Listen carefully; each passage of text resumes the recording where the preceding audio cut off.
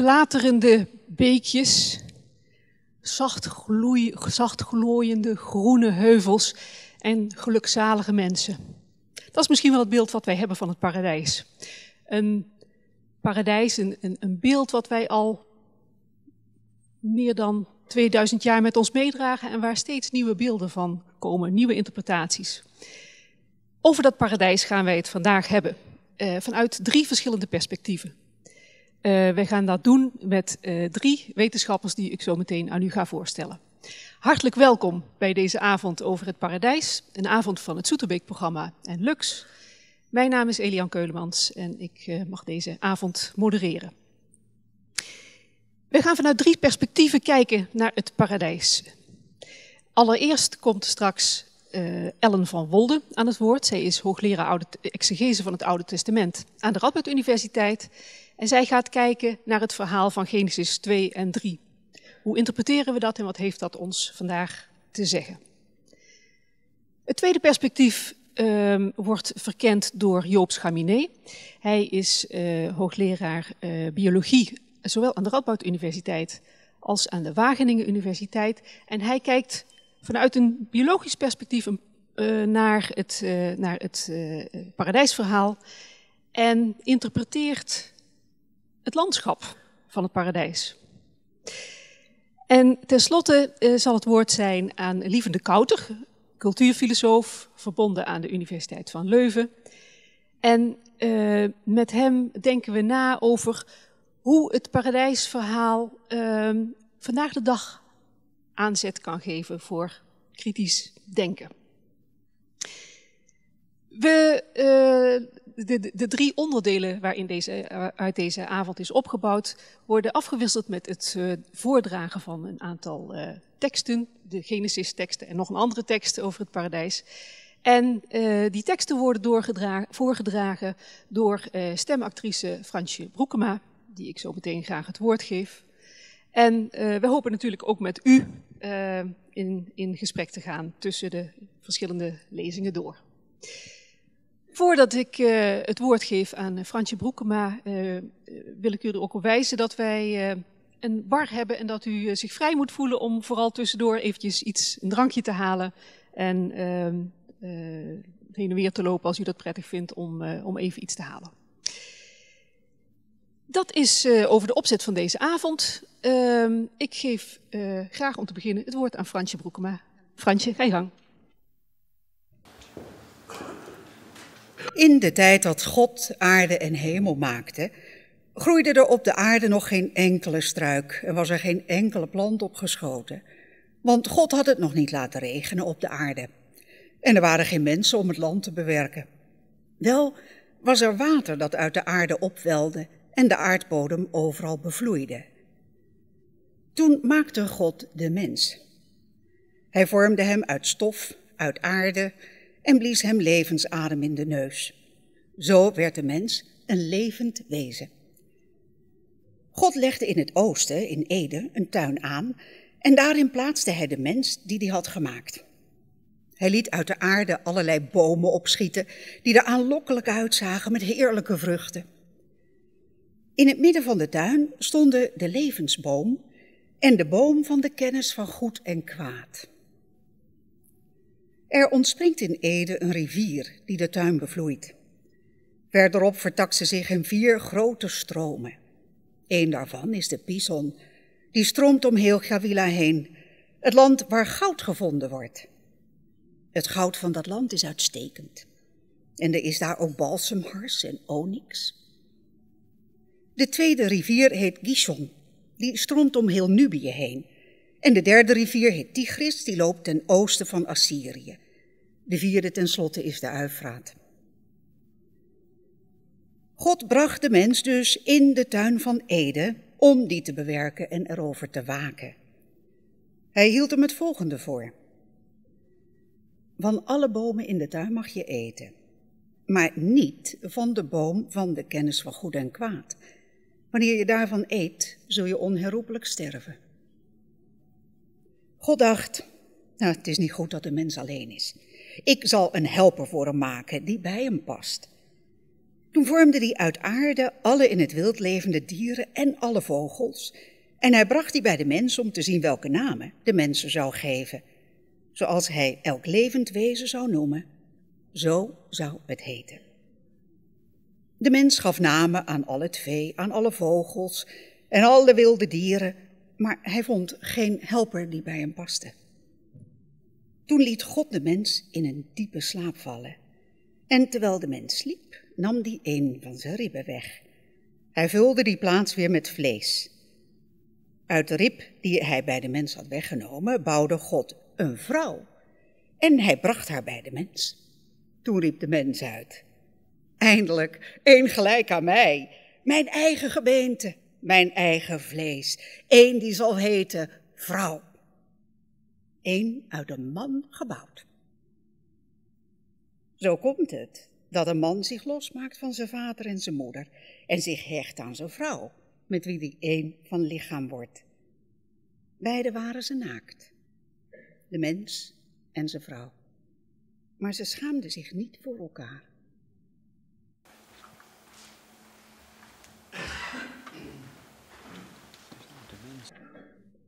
U hebt gehoord uit het voorlezen, we zitten nog in het paradijs. We worden er nog niet uit verjaagd. Ziet u het plaatje hierboven? Ik zie het daar. De telefoon gaat. En bericht is, u moet uit het paradijs. Ik heb een vraag aan u om mee te beginnen. Ik zou heel graag willen weten, heeft u nu in dit verhaal over het paradijs, even als beeld, het is een tekst geschreven in het Hebreeuws, overgeleverd mondeling waarschijnlijk in de eerste helft van het eerste millennium, voor het begin van de christelijke jaartelling. En op schrift geschreven laten we zeggen, plus minus 600, 500 voor het begin van de christelijke jaartelling. Een oud verhaal dus. Maar u kent het allemaal, dus hoeveel verhalen kent u die zo oud zijn. En het zal blijken dat dat wat u in, in uw hoofd heeft, dat verhaal zegt, misschien niet is wat het verhaal zegt. En dat komt omdat wij die hele lange geschiedenis van afbeeldingen, interpretaties gehad hebben en ook vertalingen. Mijn eerste vraag aan u is, wat denkt u? Paradijs, is dat fijn of is het niet fijn en zou je er graag gebleven zijn? Mag ik horen wie het fijn vond en het graag alleen de hand, want ik kan niet met u in gesprek. Wie denkt, we hadden het beter kunnen blijven? Kijk, als je maar lang genoeg wacht, wil iedereen er geloof ik blijven. Wie zegt, het is toch wel goed dat we eruit weggejaagd zijn? Oké, en van degene die, die laatste groep, dat weggejaagd zijn eruit. Stelt u zich dat voor, zoals dit portret van Mossaccio is dat? Een Italiaanse schilder. En u ziet hoe ongelooflijk treurig die mensen kijken. Buitengewoon treurig. Denkt u, ook degene van die laatste groep, het is toch maar goed dat we weg zijn. Was u ook zo treurig geweest? Wat is uw idee? Was u treurig? Ja, zie je knikken. Ziet, u mag ook zo doen. Was u treurig? Ja, toch wel gaan we naar het verhaal. Als we, we gaan proberen zo goed mogelijk nu te kijken naar de tekst zelf. En ik begin bij het eerste stuk, maar we gaan, ik ga een stap verder zetten dan alles voorgelezen. Het eerste stuk van de tekst, we hebben gehoord, een geweldig land, een geweldige tuin en een kale aarde. God had een kale aarde met geen mens, geen, maar een beetje water van onderaf. En mens wordt gezet, maar die wordt niet op die aarde gezet, die wordt in een tuin gezet. Kenmerk van die tuin, planten, bomen, prachtig. Alles goed, helemaal oké. Voor degene die dachten paradijselijk is geweldig, u heeft tot dit moment gelijk. Misschien niet veel langer. Wat is namelijk het geval? Op dat moment, als God net zegt, ik heb alles gemaakt, zegt hij, oh, ik zet in het midden van die tuin twee bomen neer. Eén, de boom van de kennis van goed en kwaad en de boom van het leven. Wat het verschil is, weten we niet op dit moment. En hij zegt, je mag van alle bomen eten tegen die mensen die die gemaakt heeft, maar niet van die boom, anders zul je sterven. In het Hebreeuws is het heel uh, commandoachtig gezegd. kool, agal, dus je kan van alles eten, maar lo, kool, agal van deze boom, dan zul je moot tamut. Nou, daar kan niks goeds van komen. Maar even vanuit het verhaal gedacht op dit moment. Op dit moment is alles prachtig. Wat weet die mens? Die weet helemaal niks, dat is nog een suffert. Die is gewoon neergezet. God zet zelf midden in die tuin een boom. Had niet gehoeven. Hij zet midden in de tuin een boom en daarvan zegt hij mag niet. En hij zegt je gaat dood. Die mens die gemaakt is tot nu toe weet niks wat dood is. Met andere woorden, wat ik nu eigenlijk zeg is, in een situatie die paradijselijk was, wordt door God zelf een element ingevoerd van dood en van verbod. Iets waardoor je bijna denkt, wil die bijna dat ze, er, dat ze het wel doen. In elk geval, even wat technisch gezegd, in een totaliteit wordt een begrenzing aangegeven, waardoor de eenduidigheid in elk geval een beetje weg is. Het is niet alleen maar eten, eten, genieten, lekker. Het tweede is, die mens moet die tuin bewerken en bewaken, hebben we gehoord. De vraag is natuurlijk, bewaken tegen wie? Want er is nog niks. Dat had u natuurlijk ook altijd al gedacht. Vervolgens is er een tweede vreemde element. Die God zegt zelf, het is niet goed. Tot nu toe heeft hij alles zelf gemaakt. En hij zegt nu zelf, er is iets niet goed, namelijk dat die mens één, enig in zijn soort is. En maakt de dieren en maakt een tweede mens, zal ik maar even zeggen. Mag ik u even vragen? Heeft u gehoord in dit verhaal? Het is bekend onder de naam ook als Adam en Eva. Heeft u ze gehoord, Adam en Eva? Was het dan een slechte vertaling? Het gekke is dat in, het, in de grondtekst van de Hebreeuwse tekst staat het woordje Adam, wat wij als Adam kennen. Maar dat betekent eigenlijk mens. En de vertaling heeft uitstekend vertaald, God maakt de mens. De tweede vraag is dan, als hij niet Adam maakt, dat is een eigen naam, maar de mens, is dat dan een mannelijke mens of een vrouwelijke mens? Wat denkt u? In het begin, nog voordat die vrouw er is. Wat maakt God? Een man, een mens, een vrouw? Wie is voor man? Wie is voor mens? Wie is voor vrouw? Ja, ik ben ook voor vrouw, maar ik denk niet dat het in de tekst staat. Ik denk dat in die tekst staat, God maakt de mens als mensensoort. En hij maakt daarna dieren. Dan van die ongedeelde mens, die Adam heet, die uit de aarde, Adama, is dat in het Hebreeuws, is gemaakt. Er zit heel veel alliteratie in zo'n tekst. Van die mens zegt hij, die moet niet één ongedeeld zijn, die heeft een hulp nodig. Nou kent u net als ik, die hele geschiedenis daarna, is afhankelijk van wie die hulp is, wordt het een hulpje of een grote hulp. U weet wat komen gaat, het is een vrouw, dus het is een hulpje. Echter, hetzelfde woord wat daar staat, wordt ontzettend vaak in psalmen en in andere bijbelteksten gebruikt voor God. God wees mijn helper. Geen kip en geen mens denkt eraan om dan te denken, God wees mijn hulpje.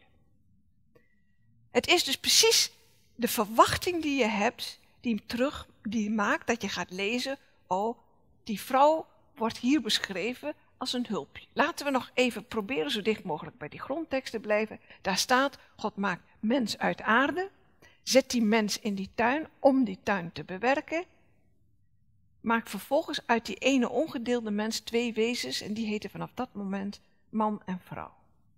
Heeft u iets geks gehoord in de laatste zin die zij voorlas? Zou je dat nog een keer kunnen doen? Dat twee laatste zinnen alsjeblieft. Dit is gesmokkeld van mij. Vers 24. Zo komt het dat een man zich losmaakt van zijn vader en zijn moeder en zich hecht aan zijn vrouw, met wie die één van lichaam wordt. Beiden waren ze naakt, de mens en zijn vrouw. Maar ze schaamden zich niet voor elkaar. Hoort. Iets geks. Vader en moeder, wie? Waar? De eerste mensen. Je ziet heel goed dat hier zich de verteller buiten verhaal opstelt, er even buiten gaat staan, tegen zijn lezers zegt, weet wel, die mens zal, en dan heet hij niet meer mens, maar dan heet hij, die man zal zijn vader en moeder verlaten om zich te hechten aan zijn vrouw. En dan de zin daarna keert het verhaal terug, maar op dat moment waren die man en die vrouw, die mens en de vrouw, nog naakt en ze schaamden zich niet. Dus dat fenomeen dat ze hun vader en moeder verlaten, zich hechten aan elkaar, één lichaam worden, doet zich nog niet voor. De vraag die ontzettend vaak gesteld is in veel teksten, hebben de eerste mensen in het paradijs seks met elkaar, kan je op dit moment niet anders beantwoorden als nee. En het beroep dat iedereen doet op dat ene vers, wat we net horen over die vader en moeder, is dus niet goed, want dat is buiten de tekst. Dan gaan we naar het vervolg wat we nog niet gehoord hebben en wat u zult horen. Er komt een slang. En u kent ongetwijfeld het vervolg, mag ik het volgende plaatje. In onze uitleg en geschiedenis van de kunst hebben we dit beeld, dit is van Michelangelo. Ziet u daar die slang? Wat voor geslacht heeft die slang? Zeer vrouwelijk, duidelijk. Zeer veel, vaak in de kunstgeschiedenis, de slang en de vrouw worden op één hoop gegooid. Als ik u mag vragen, wat voor vrucht aten ze? Een appel hoor ik hier, nog andere vrucht. Een peer? Een granaatappel? Wat er ook nog bij hoort is een vijg. waarom is de vijg populair? Een vijg heeft de grote bladen, vijgenbladen, en die heb je strakjes nodig. Daarom denk ik niet dat het een olijf is, want dan heb je veel te kleine blaadjes. Wat staat er in de tekst? Er staat alleen maar een vrucht. En dan is het buitengewoon leuk om in de kunstgeschiedenis te kijken. Je ziet vaak uit het land waar het is afgebeeld dat de vrucht daarmee correspondeert.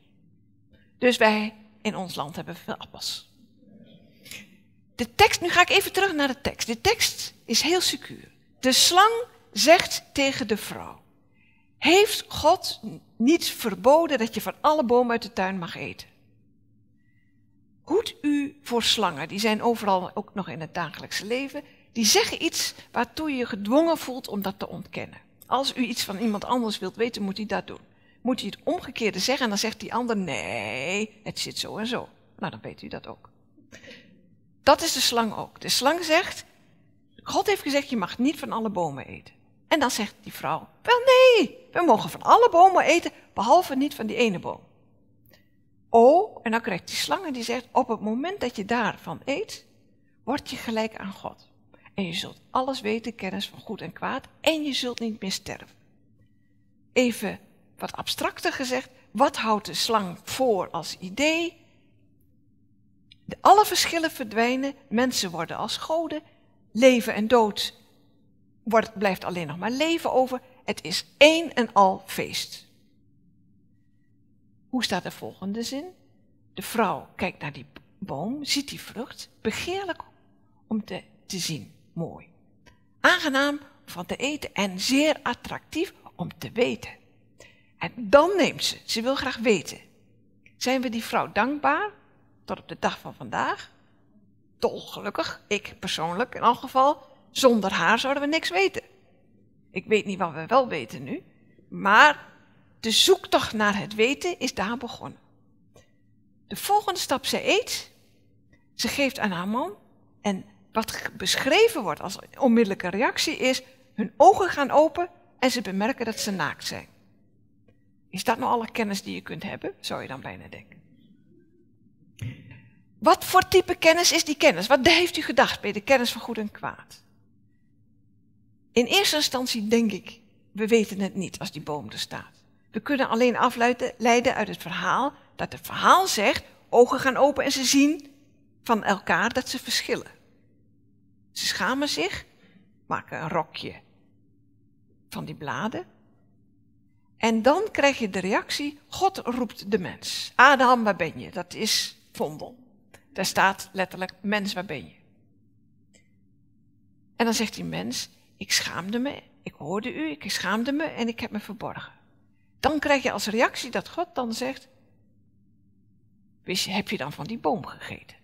Daarom zien we een tweede gegeven waaruit je kunt concluderen dat besef hebben van je naaktheid en je daarvoor schamen blijkbaar hoort bij dat eten van die boom. En dan geeft God de bestraffing. Je zult de pijn en moeite, u gaat niet de details, de pijn en moeite de eh, kinderen baren, het land bewerken, terugkeren naar de aarde waaruit je gekomen bent. Vanaf dat moment komt in het vizier van die God in dat verhaal dat die mensen kinderen krijgen.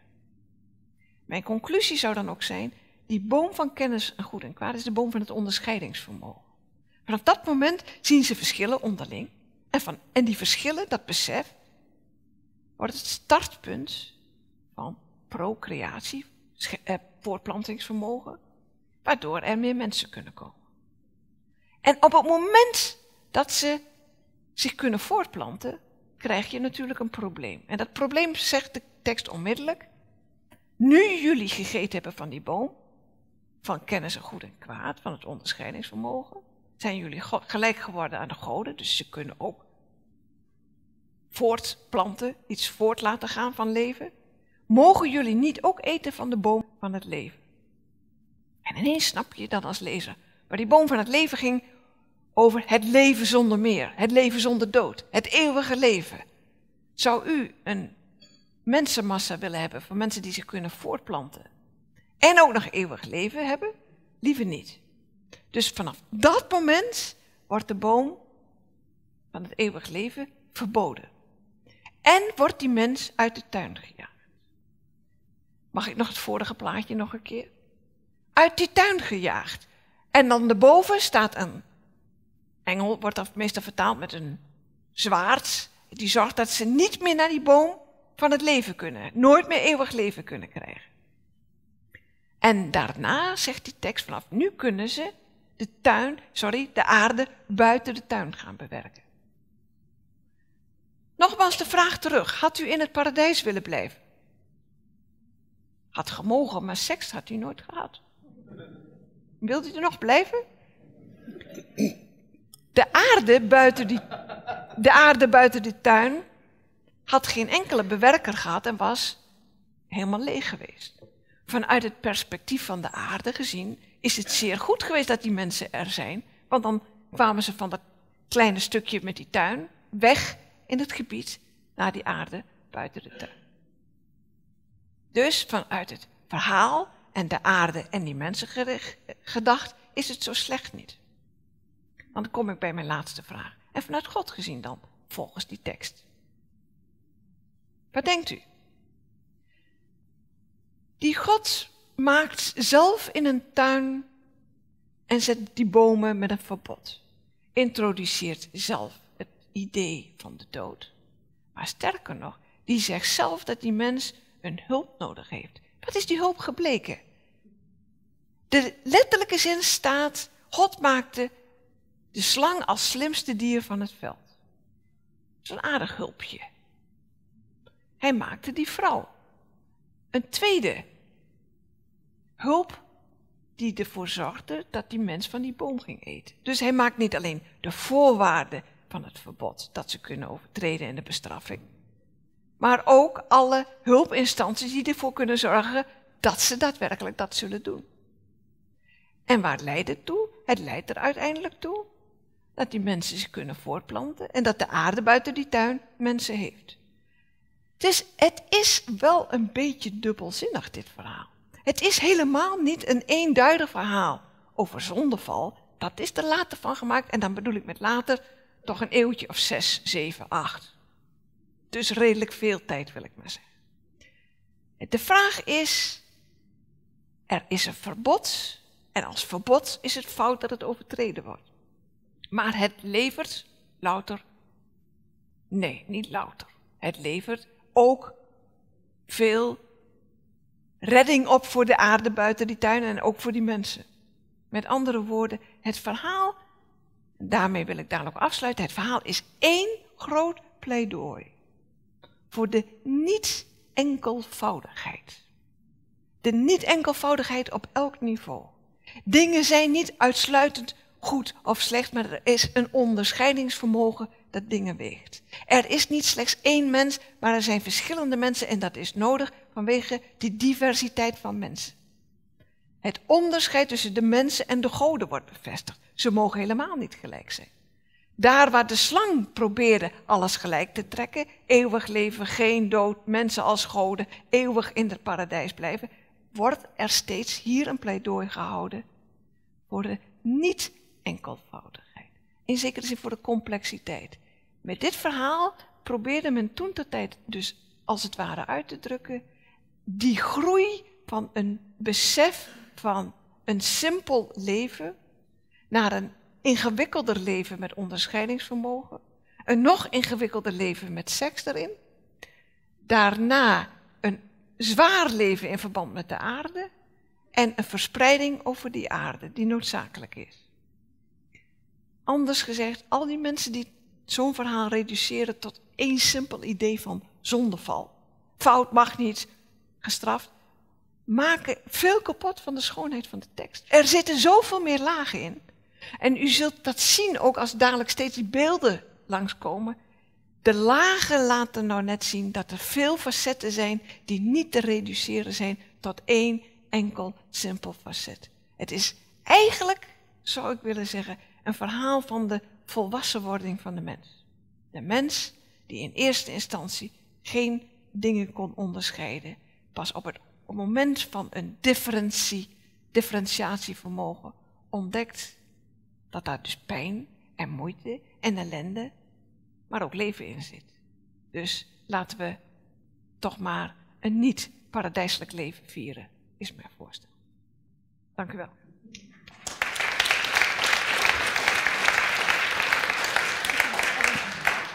Uh, dankjewel, Ellen, voor deze mooie interpretatie van uh, Genesis 2 en 3. Uh, ehm, zou je kunnen zeggen dat ehm, jouw lezing van dat verhaal betekent dat mensen de geschiedenis ingestapt zijn uit een soort van wat meer nondescripte situatie, kan je zoiets zeggen? De geschiedenis begint op het moment dat. Ja, ja dat, is van, dat vind ik mooi gezegd. Kijk, ik heb het nu tot nu toe heel individueel geformuleerd. Hè? Een volwassenwording van individuele mensen. Maar het is natuurlijk voor de hele mensheid. Vanaf dit moment is het van een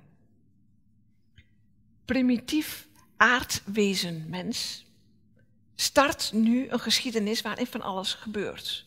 Met verschillen tussen mensen en de dieren en de interacties en de nakomelingen.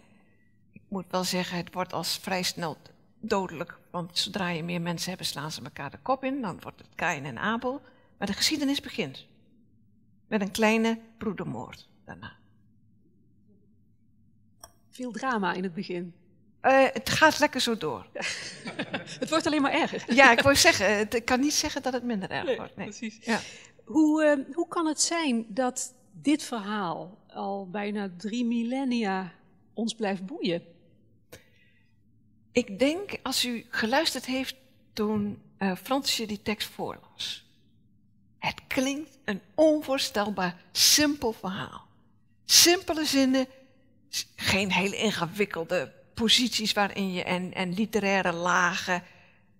Dus iedereen heeft het altijd vrij goed kunnen lezen. En wat het kenmerk is van dit verhaal en veel Bijbelverhalen, is er zitten gaten in de tekst. Er is heel veel niet ingevuld. Wij weten dus niet of Eva rood haar had.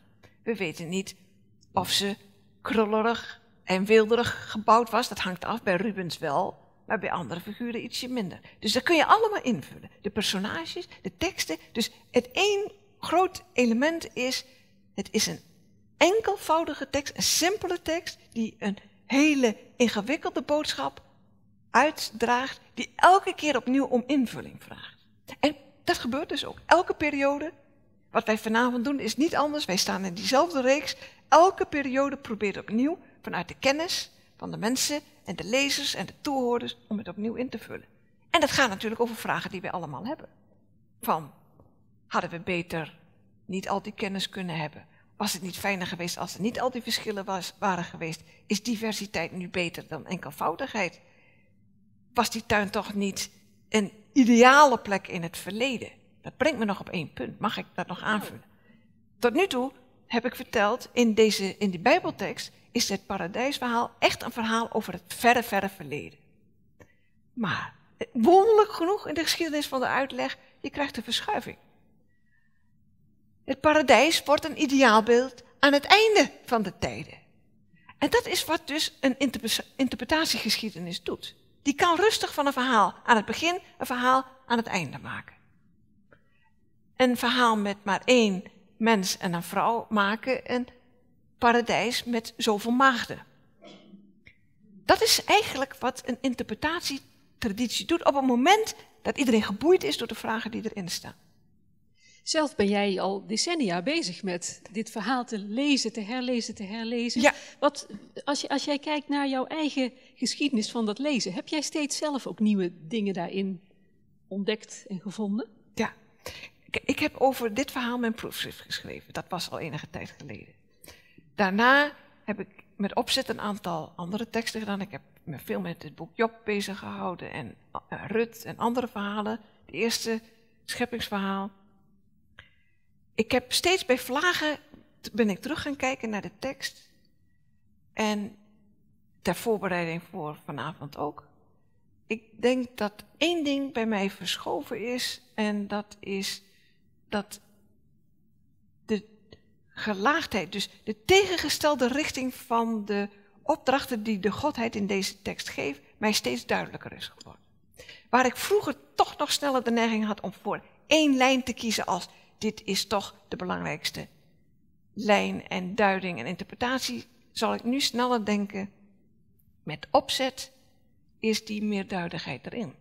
Ja, dus dat betekent dat je eigenlijk um, een leven lang bezig bent om onbevoordeeld naar die tekst te kijken. Ja, dat is ook mijn grote ideaal. Ik bedoel, het, mijn ideaal met dit soort bijbelteksten is, het zijn teksten die gaan over problemen die iedereen ten alle tijden heeft maar die afhankelijk van je eigen levensfase en de eigen kennis die je hebt, maakt dat je opnieuw gaat kijken en denkt, oké, nu ga ik even wegleggen wat ik al wist en ik probeer opnieuw te lezen. En als je dat doet, ja, dan is eigenlijk het ideaal onbevangen lezen om te lezen alsof je voor het eerst leest. Dat zou mijn doel zijn. En in die zin kan ik dat bij het paradijsverhaal eigenlijk altijd blijven doen. Wie van u uh, heeft een vraag, een opmerking? Iets wat te delen met Ellen? Um, mensen hebben dit verhaal ooit uh, bedacht, verzonnen, om iets wat ze onverklaarbaar vonden of wat ze ja, magisch vonden, om dat op een of andere manier te kunnen duiden. Uh, er is denk ik ergens in de evolutie van de mens, van de primaten tot aan de mensachtige, is er gewoon een moment geweest, denk ik, waarin mensen een eh, bewustzijn kregen. En doordat ze een bewustzijn kregen, kregen ze op een gegeven moment ook een gevoel voor goed en slecht. Ik vond het mooi dat jij net ook zelf het woord onbevangen gebruikte. Ik denk dat voor dat moment dat mensen uh, uh, zelfbewustzijn hadden, dat ze onbevangen waren. Uh, ze waren zich nog nergens van bewust. Maar door dat zelfbewustzijn ja, zagen ze zichzelf en zagen ze ook de wereld rondom zich heen. En ze konden ze inderdaad een onderscheid maken tussen goed en slecht. En daardoor werd ook de zondeval, hè, het doen van zonde werd ook mogelijk. Maar U zegt heel veel dingen tegelijk. dat dit verhaal ergens dus in de evolutie geplaatst moet worden? Dat het, het, het moment is van, waarop de mens uh, bewustzijn kreeg? Dat stukje van de vraag zou ik niet in eerste instantie beamen. Ik zou, kijk, je ziet in de evolutie van de mens, heb je eerst taalvermogen natuurlijk, en communicatievermogen. Maar het bewustzijn van het onderscheid is dus vooral het bewustzijn van zelf onderscheiden zijn van de anderen. Ik denk dat dat een hele belangrijke stap is. Eh, ik kan maar, kijk, ja, ik, ik aarzel, want ik kan, moet nu eigenlijk een antwoord geven op het terrein van de evolutiebiologie, waar ik me niet deskundig in voel. Tegelijkertijd wil ik wel zeggen dat je ziet echt in heel veel volkeren hebben allemaal verhalen over dit soort eerste stadia. Maar ik voel mij niet in staat om daaruit grote evolutiebiologische conclusies te trekken. Misschien kan Joop Schaminé misschien straks nog een opmerking maken, of misschien nu al. Kun je iets zeggen over Heel, Deze heel, oh, ja, komt Ja. al eh, Ja. geluid. Ja. Het is natuurlijk heel verleidelijk om hierop in te gaan, want als er ergens één conflict is, is het natuurlijk toch die evolutietheorie. Eh, hoe rijmt zich dat? Hoe rijmt dat met het verhaal van eh, de eerste mens op aarde, Hof van Ede, twee mensen? Eh, niet zo heel lang geleden, nou, evolutietheorie miljoenen jaren geleden. Ik denk dat het eh, wel ehm, te rijmen is. Maar dat. Ik heb onlangs met een, met een theoloog, iemand die veel exegese doet, hierover gesproken. En het was de eerste keer dat ik een soort inzicht kreeg. Dat ik dacht van ja, hier zit volgens mij een element in wat bij de waarheid komt.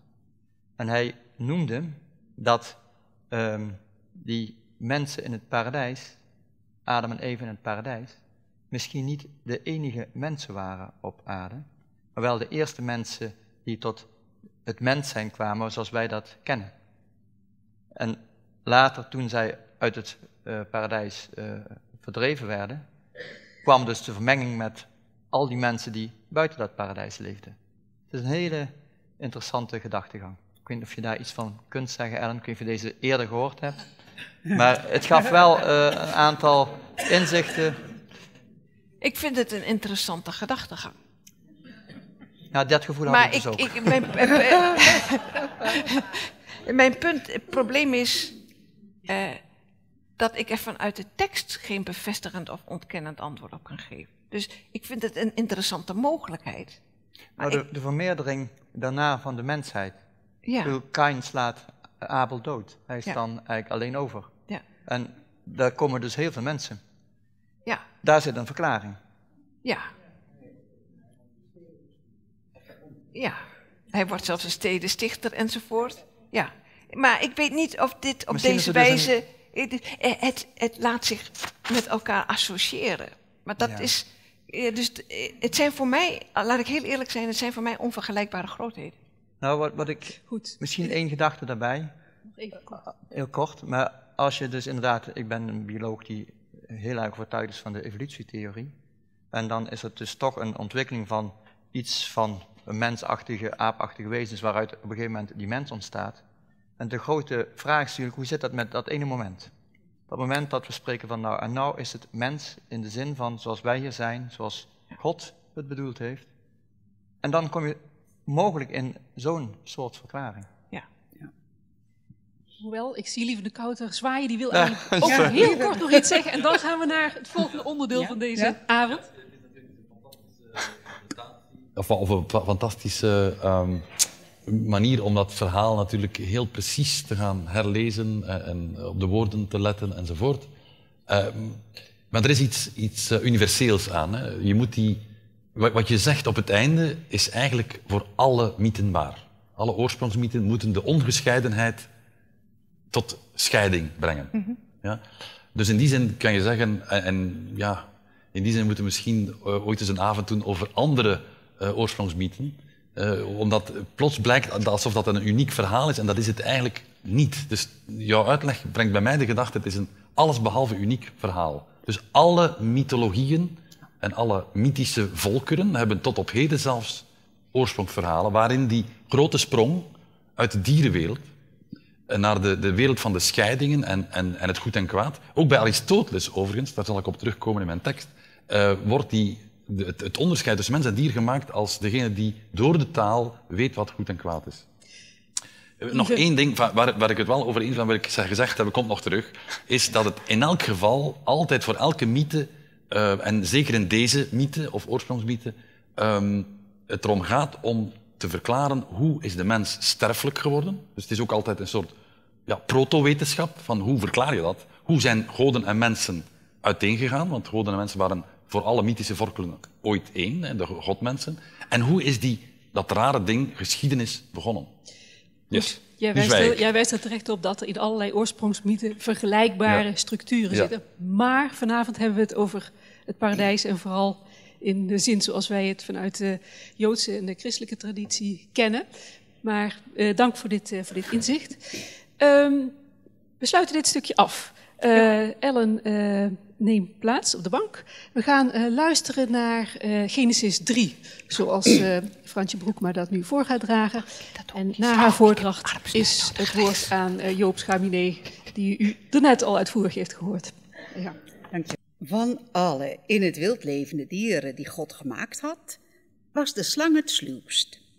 Dit dier vroeg aan de vrouw: Is het waar dat God gezegd heeft dat jullie van geen enkele boom in de tuin mogen eten?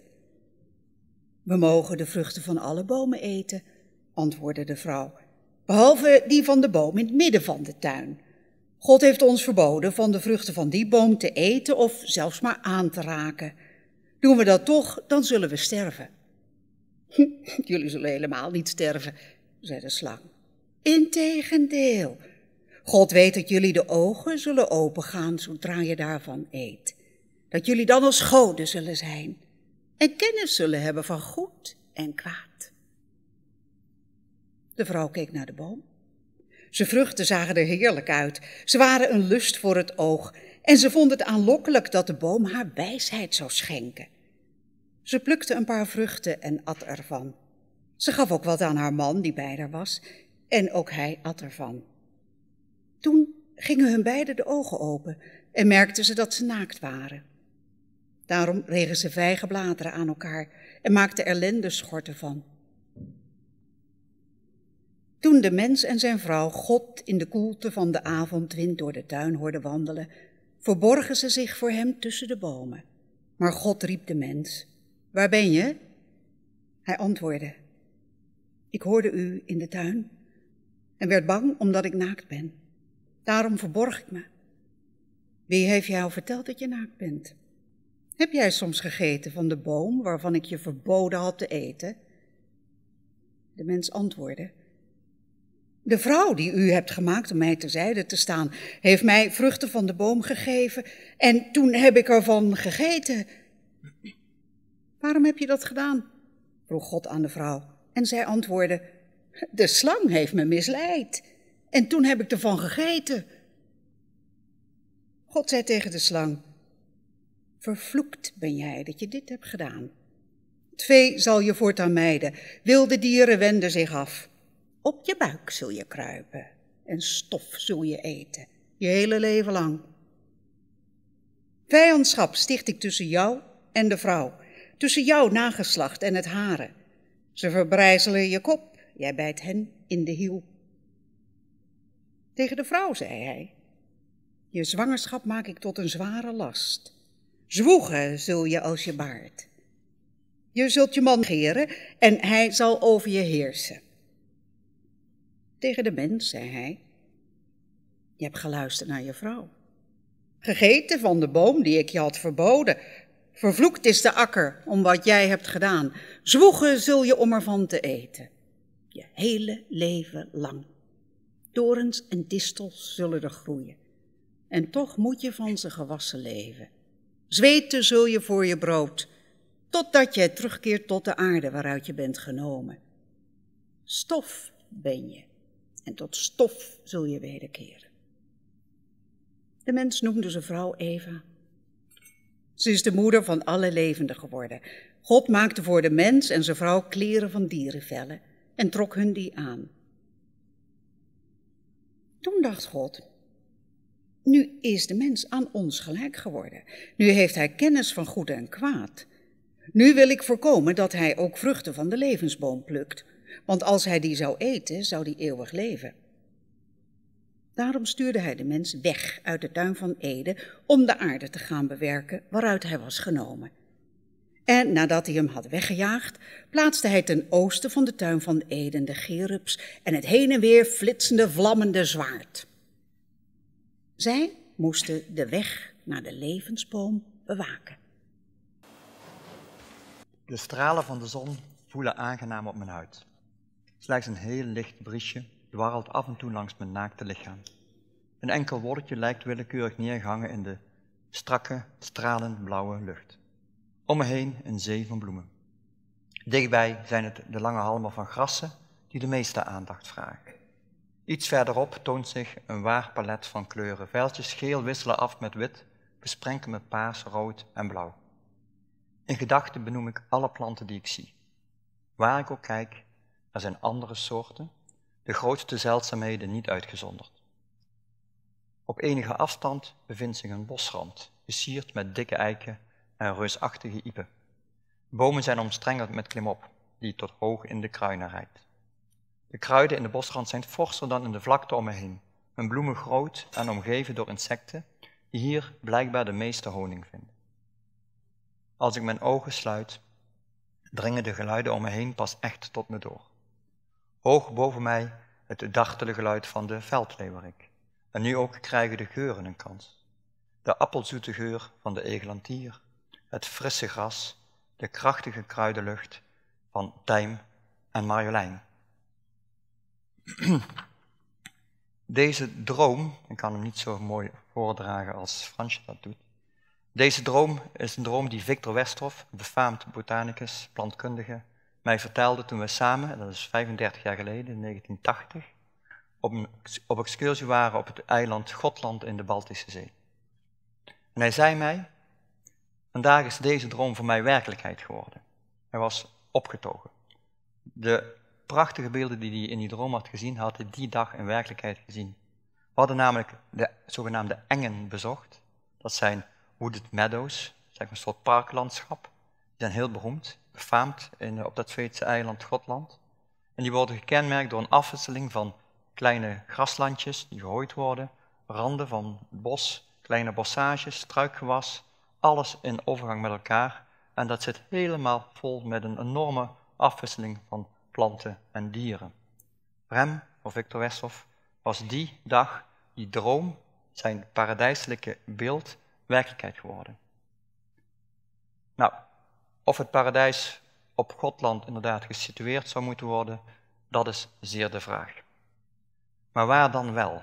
Dat is de vraag die ik uh, probeer vanavond in ieder geval een klein stukje te beantwoorden. Ik wil daar graag op ingaan. Maar eerst, voordat ik dat doe, een andere vraag. We hebben al heel veel beelden gezien, maar toch de vraag, hoe stellen wij ons het paradijs eigenlijk voor? Hebben wij met z'n allen een beetje een overeenkomstig beeld? Om daar uh, wat nader naar te kijken, wil ik een paar plaatjes laten zien van schilderijen uit, meeste uit de 16e en 17e eeuw. Het beroemde beeld van Jeroen Bos, ongeveer 1500 geschilderd, dus het deeltje, klein deel van het linkerpaneel van Tuin der Lusten van Prado in Madrid. Dertig jaar later, Lucas Cranach, de oude, een beeld met een aantal bossages, eh, open terrein, op achtergrond wat heuvels en bergen. Heel beroemd, Van Breugel de Oude. Van Breugel de Oude die werd ook wel Paradise Breugel genoemd, om zich te kunnen onderscheiden, om onderscheid te kunnen maken van al die andere Breugels die schilderden. Hij heeft ontzettend veel paradijselijke afbeeldingen gemaakt en ze zijn allemaal heel erg uh, indrukwekkend. Dit is een andere van hem in 1615 geschilderd. Eentje samen met uh, Peter Paul Rubens. Het was in die tijd heel gebruikelijk dat schilders samenwerkten en in dit geval ook twee gelijkwaardige schilders die dat ook van elkaar vonden, die gezamenlijk aan dit schilderij hebben uh, gewerkt. Roland uh, Saverij, daar zijn we 100 jaar later in de Gouden Eeuw schilder die uiteindelijk in Utrecht uh, heeft gewerkt en daar ook is overleden aan drank. Um, een bijzondere man die veel gereisd heeft, maar ook dit soort paradijselijke afbeeldingen heeft gemaakt. Dan maak ik een sprong met u in de tijd en dat doe ik eigenlijk alleen omdat ik deze schilder zo fantastisch vind, uh, dat ik er toch een beeld van wil laten zien. Natuurlijk uh, Marc Chagall, 1961, dus heel veel later ook. Hij laat hier het paradijs zien, de verdrijven van Adam en Eva door de engel het zwaard maar ook de paradijselijke beelden. Als we die beelden tot ons laten doordringen, die we net eh, gezien hebben, en er zijn er heel veel meer van dit soort werken om getoond te eigenlijk mogen worden en moeten worden, er zijn een aantal dingen die opvallen. We zien in alle gevallen uh, open landschappen, geen gesloten bos. Altijd open landschappen met daarin ook altijd groepjes bomen en struweel. We zien altijd heel veel soorten planten en dieren. Het is een ongekende hoge, een modern jargon, biodiversiteit. We zien overal water op de schilderijen. En we zien op de achtergrond altijd heuvels of bergen. Als we nu naar de tekst van Genesis uh, gaan, uh, en hij is zojuist prachtig voorgedragen, uh, dan zijn de beschrijvingen van Genesis over het landschap in Genesis sumier. Maar toch valt er wel het een en ander uit af te leiden. En als je dat bij elkaar brengt, kom je eigenlijk tot een hele duidelijke conclusie. Op de eerste plaats is er in Genesis sprake van een rivier die zich splitst in vier stromen. Dat betekent dat er sprake moet zijn van bergland of heuvelland, van waaruit een soort rivierdelta uitwaaiert in een wijds laagland. Er zijn, en het wordt een paar plekken in Genesis wordt genoemd, er zijn rijkelijk vruchtdragende bomen, begeerlijke vruchten, maar ook talrijk en veel vruchten. En dat is bij uitstek een kenmerk van uh, bosranden, struwelen, losstaande boomgroepen. In het gesloten bos komen, geen, uh, komen maar heel weinig vruchtdragende uh, soorten voor. Appels, peren, pruimen, al dat soort struiken en bomen zijn struiken van randen, van bossages, van struweel en van uh, boomgroepen, niet van gesloten bos. Een derde wat opvalt is dat er heel veel soorten planten en dieren zijn. Het wemelt er als het ware van het leven. Het is een hoge biodiversiteit. En er is een aangenaam klimaat met avondkoel.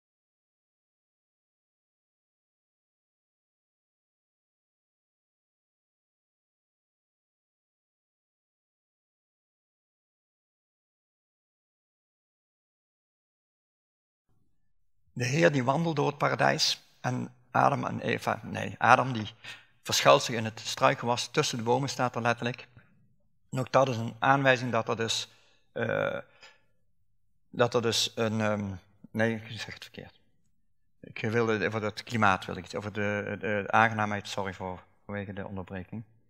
Er was sprake van een, van een aangenaam klimaat met avondkoelte.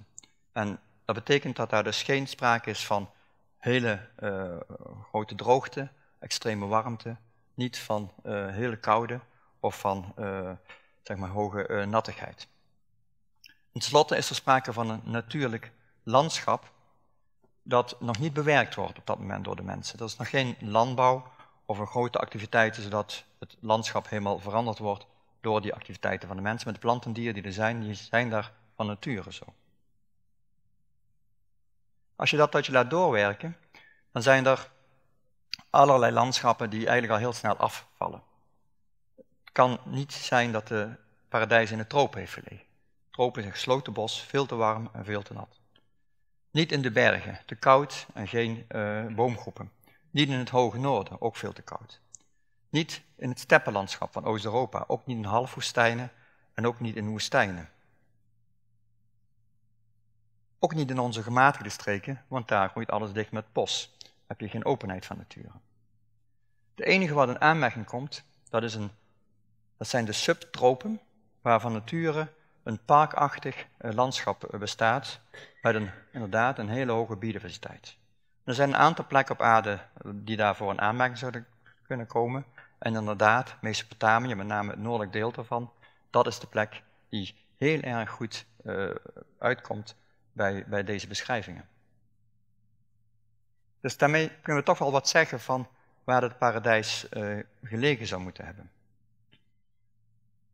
Als we dat nu eens doortrekken naar ons eigen Noordwest-Europese uh, landschap, ons eigen Noordwest-Europese laagland en heuvelland. Hoe verhoudt zich dat tot het paradijs? Wat er dan eigenlijk onmiddellijk opvalt, is dat de overeenkomsten opvallend groot zijn. Om te beginnen dat bergland met de rivierdelta. Het is natuurlijk uh, wel heel bijzonder dat juist in ons eigen land we sprake is van vier riviersystemen die hier in een delta uh, uitvloeien in, uh, naar de oceaan. Dus de Eems, de Rijn, de Maas en de Schelde. We hebben ook een redelijk gematigd, in ieder geval in die zin ook wel een aangenaam klimaat, in ieder geval in die zin dat het niet extreem droog en ook niet extreem nat en ook niet extreem koud of extreem warm is. Er is een hoge biodiversiteit mogelijk. Dat komt ook door die delta van rivieren die van nature maakt dat er een hele kleinschalige afwisseling is van zeg maar zand en klei en veen, van droge en natte gronden, van voedselrijk en voedselarm, zuur en basis. Die kleine schaligheid hoort bij zo'n uh, deltagebied. Maar er is één punt dat niet klopt. En dat is dat in onze contraien uh, de natuur van, uit zichzelf, als er niks gebeurt, uh, dichtgroeit met struikenwas en met bos. We hebben in het Noordwest-Europese laagland, of zelfs in grote delen van geheel Europa, hebben we te maken met bossen en met, met gesloten bossen, als daar niet actief ingegrepen wordt door de mens. En dat brengt ons tot een, een bijzonder uh, interessant fenomeen. En dat is het feit wat die mens, als hij gaat ingrijpen, wat hij dan eigenlijk teweeg brengt.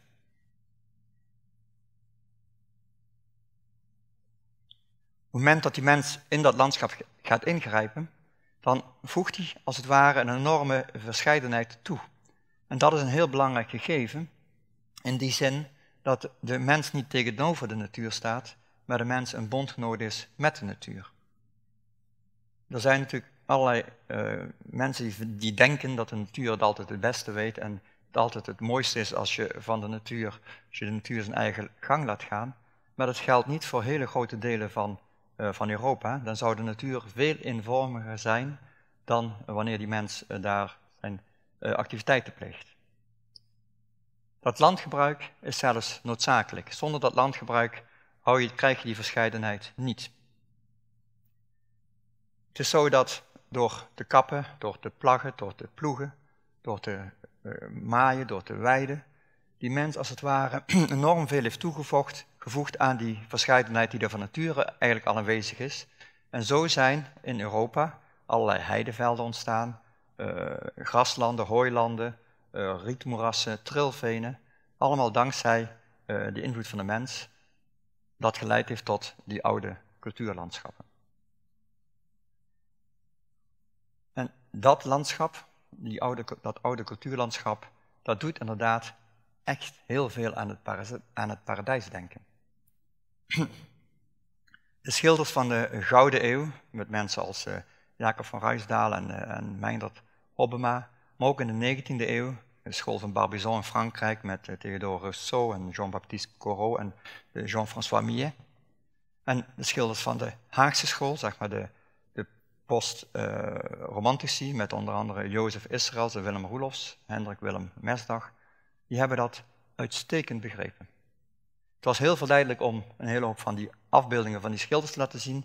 Maar ik heb gekozen om u iets anders te laten zien, namelijk gewoon plaatjes van Nederland, van dit oude cultuurlandschap. We zien hier de reiswaard eh, bij Loevestein aan de Waal. Gewoon wel plaatjes. De Gelderse Poort hier vlakbij, de Millingenwaard met uh, wilgenvloedbossen. Uh, Heidelandschap met Neverbeststruweel, de Mantinger Zand, in Drenthe. Haaksbergerveen met beenbreek als uh, opvallende bloemplant hier. De Westbroekse Zodde, laagveengebied, laagveenmoeras met trilveen hier en wat watervegetatie op de voorgrond. Punthuizen met uh, Spaanse ruiter, dat zijn de befaamde blauwgraslanden. En als laatste het uh, landschap van Zuid-Limburg en hier het Zeldzatbeekdal in de buurt van IJsselmeer op de voorgrond, uh, de Harige Ratelaar. Het zijn allemaal prachtige landschapsbeelden, gewoon afgelopen jaar of het jaar daarvoor gemaakt, in Nederland. Nou is het zo dat dit soort landschappen alleen kunnen eh, blijven bestaan als die mens ingrijpt, beheert. Dat moet hij zeker doen. Maar hij moet het wel doen uh, op een manier dat het niet te veel is en ook niet te weinig. Dus het gaat om een soort uh, eenheid, een soort harmonie, een soort evenwicht. En als je dat weet te behouden, als je dat weet te doen, dan krijg je die mooie befaamde eenheid in verscheidenheid. Maar dat hebben wij helaas voor een heel groot deel niet kunnen blijven doen. We hebben natuurlijk voedsel nodig en we zijn hebberig en we zijn natuurlijk enorm fanatiek gaan ontwateren en bemesten en we zijn gaan verzuren. Dat heeft geleid tot tot een enorme verarming uh, van het landschap en het verdwijnen van die befaamde oude uh, cultuurlandschappen. Dat is één kant van het verhaal, dat is te veel. de andere kant te weinig. Dat is de verwaarlozing, dat allerlei landschappen, dat speelt in onze contraille niet, maar dat speelt in het bergland van Europa en ook in Oost-Europa speelt dat heel sterk. Dat de oude traditionele landschappen uh, niet meer zeg maar, gebruikt kunnen worden door de mensen zoals ze dat uh, eeuwenlang gedaan hebben. Dan groeien ze gewoon heel snel, snel dicht met bos en struweel. En dat zien we uh, helaas op enorme schaal op dit moment gebeuren. Met andere woorden, als we die droom van Victor Westhoff werkelijk willen laten blijven, voorbestaan, dan is er een zorgvuldig en actief natuurbeheer uh, is dan absolute voorwaarde. Alleen dan blijft dat paradijs op aarde voor ons behouden. Dank u voor uw aandacht.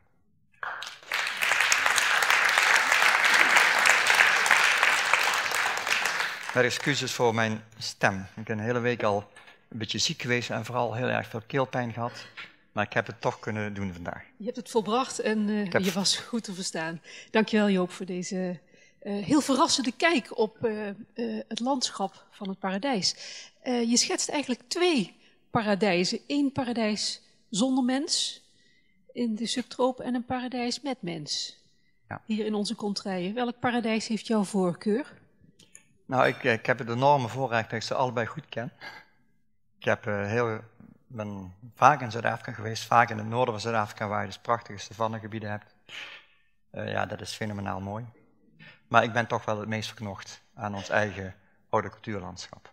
Je ziet het liefste paradijs met de mens daarin die uh, ja. de zaak aan het bewerken is. Dat is mijn, uh, ja. Um, zoals jij, je, je, je, je breekt eigenlijk een lans voor een heel zorgvuldig natuurbeheer. Ja. Um, Zeggen de termen die uh, in, in de christelijke traditie in, in relatie worden gebracht met de schepping jou iets? Je, er wordt enerzijds gesproken over de mens als rentmeester. Aan de andere kant wordt gesproken als degene, de mens die de aarde beheerst en onderwerpt. De heerser, ja. De heerser. Er zijn natuurlijk een aantal van die, van die beelden. Je hebt uh, nog je hebt de, de, heerser inderdaad, je hebt de rentmeester en je hebt nog een stap verder dat je gewoon een deelgenoot bent met de natuur, dat je als het ware gelijkwaardig bent. Ik denk dat daar wel een verschuiving heeft plaatsgevonden. Dat wij vanuit dat idee van heersen wel ook als, uh, als maatschappij toch wel steeds sterker bewust zijn geworden van dat wij veel meer rentmeester moeten zijn. Uh, niet altijd handelen we daarnaar. Maar het is wel, uh, wel de gedachte die, die het duidelijkst aanwezig is. Er is een proefschrift van Rian van den Borren, Thinking Nature. Die heeft het die onderzocht. aan Nijmegen ook aan de Rabat Universiteit verbonden is. Zeer verrassend de conclusie was daarvan dat verreweg het grootste deel van de mensen de mens toch vooral als rentmeester ziet of in die actieve relatie met natuur ziet. Het idee van heersen, dat was eigenlijk, niemand scoorde daarop. Dat is opvallend, want zoals ja. je in het publieke debat uh, het vaak hoort, is, is de, de, daar is toch het beeld um, dominant dat de mens de natuur uh, grotelijks aan het verpesten is. Ja, maar ook toch dat we de, ons ons erfgoed moeten doorgeven aan de kinderen op een manier die zeker gelijkwaardig is en misschien nog wat mooier is dan we gekregen hebben. Ook dat is toch ook wel een uh, gemeen goed, zou ik denken. Mensen in mijn kringen wel.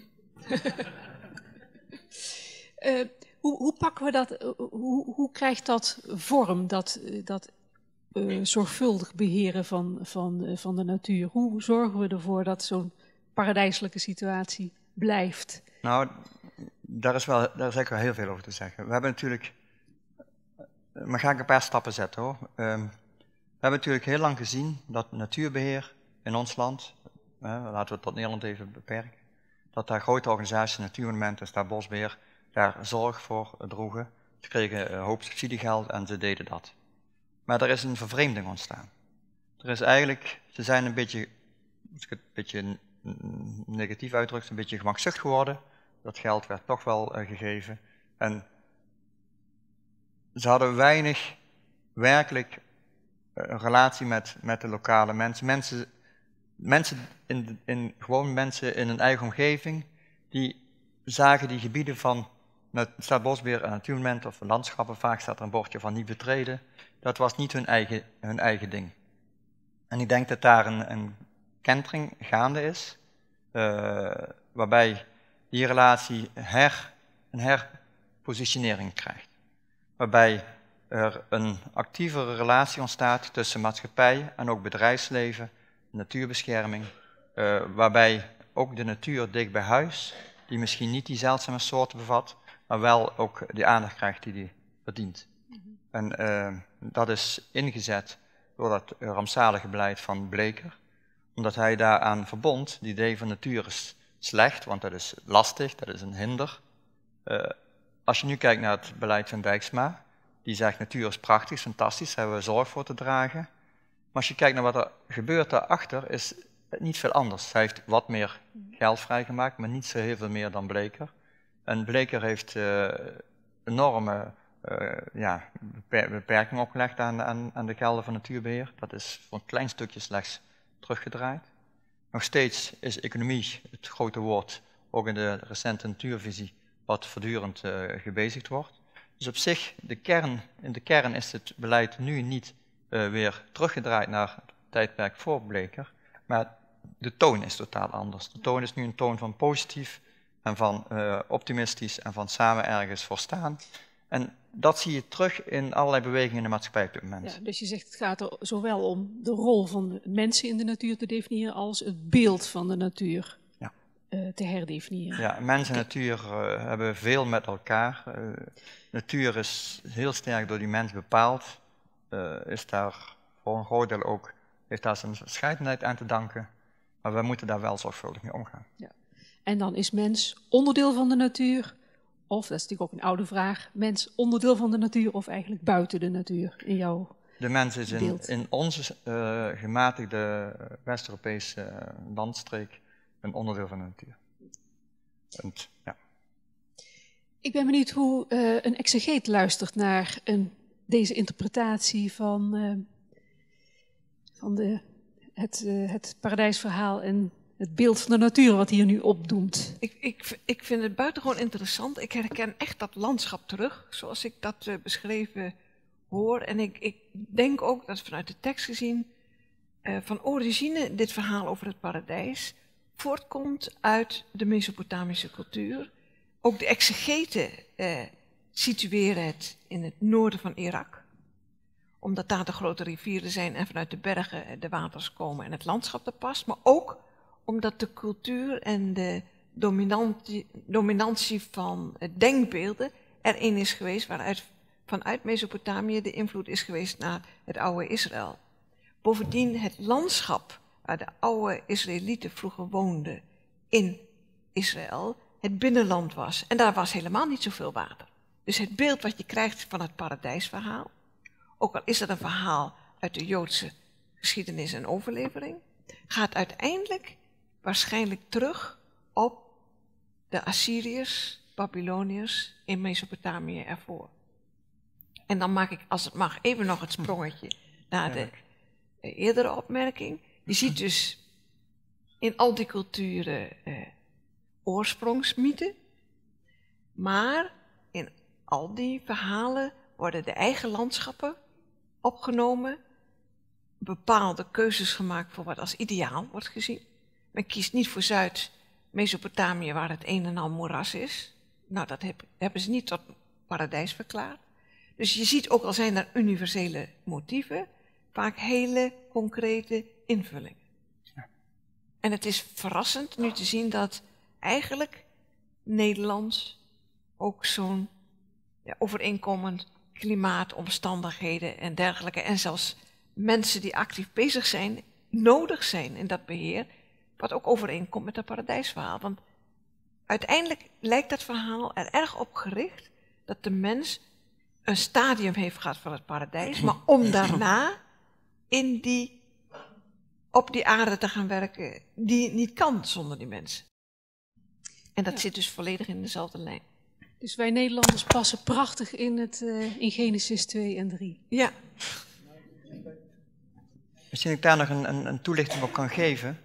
Want er zijn natuurlijk, wij zijn vanuit ons eigen Nederland, denken wij al heel gauw van die natuur van Nederland, nou, telt toch niet zo heel veel voor. Dat vergelijkt met toendra's, stropen, hooggebergte. Waar hebben we het over? Maar dat is toch, uh, dat, daar moet je toch nog eens een keer goed over nadenken of dat werkelijk het geval is. waar wij mee te maken hebben is inderdaad die ligging in die delta van vier grote rivieren, met die enorme kleinschalige verscheidenheid die daar bestaat vanuit zeg maar, de gesteldheid abiotiek. En de mens die daarop gesuperponeerd die variatie heeft weten aan te brengen, en de natuurbescherming die dat in kleine stukjes her en daar heeft kunnen behouden. Als ik met u een gedachte een klein reisje mag maken vanaf bijvoorbeeld Zuid-Limburg naar uh, Texel, dan heb je 200, 300 kilometer, meer is er niet. Dan begin je op die kalkgraslanden, kalkbos in Zuid-Limburg. Je gaat door dat diep ingesneden Maasdal.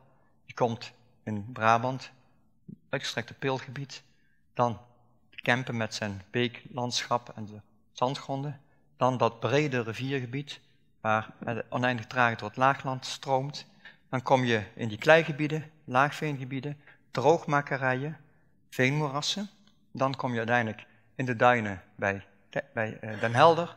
En je kijkt uit over die magnifieke, gigantische Waddenzee. 250, 300 kilometer. Een verscheidenheid die zo ongekend groot is, als je dat vergelijkt met uh, Finland of Schotland, de Highlands, of de centrale vlakte van Spanje, of noem maar op. Nergens heb je op 200, 300 kilometer een dergelijke verscheidenheid. Die bestaat alleen in de rivierdelta. Het paradijs is dichterbij dan wij denken. Ik denk dat we dat... Ja. In Europa, de Europese, één laatste opmerking dan, de Europese natuurbescherming, daar heeft u allemaal van gehoord met Natura 2000.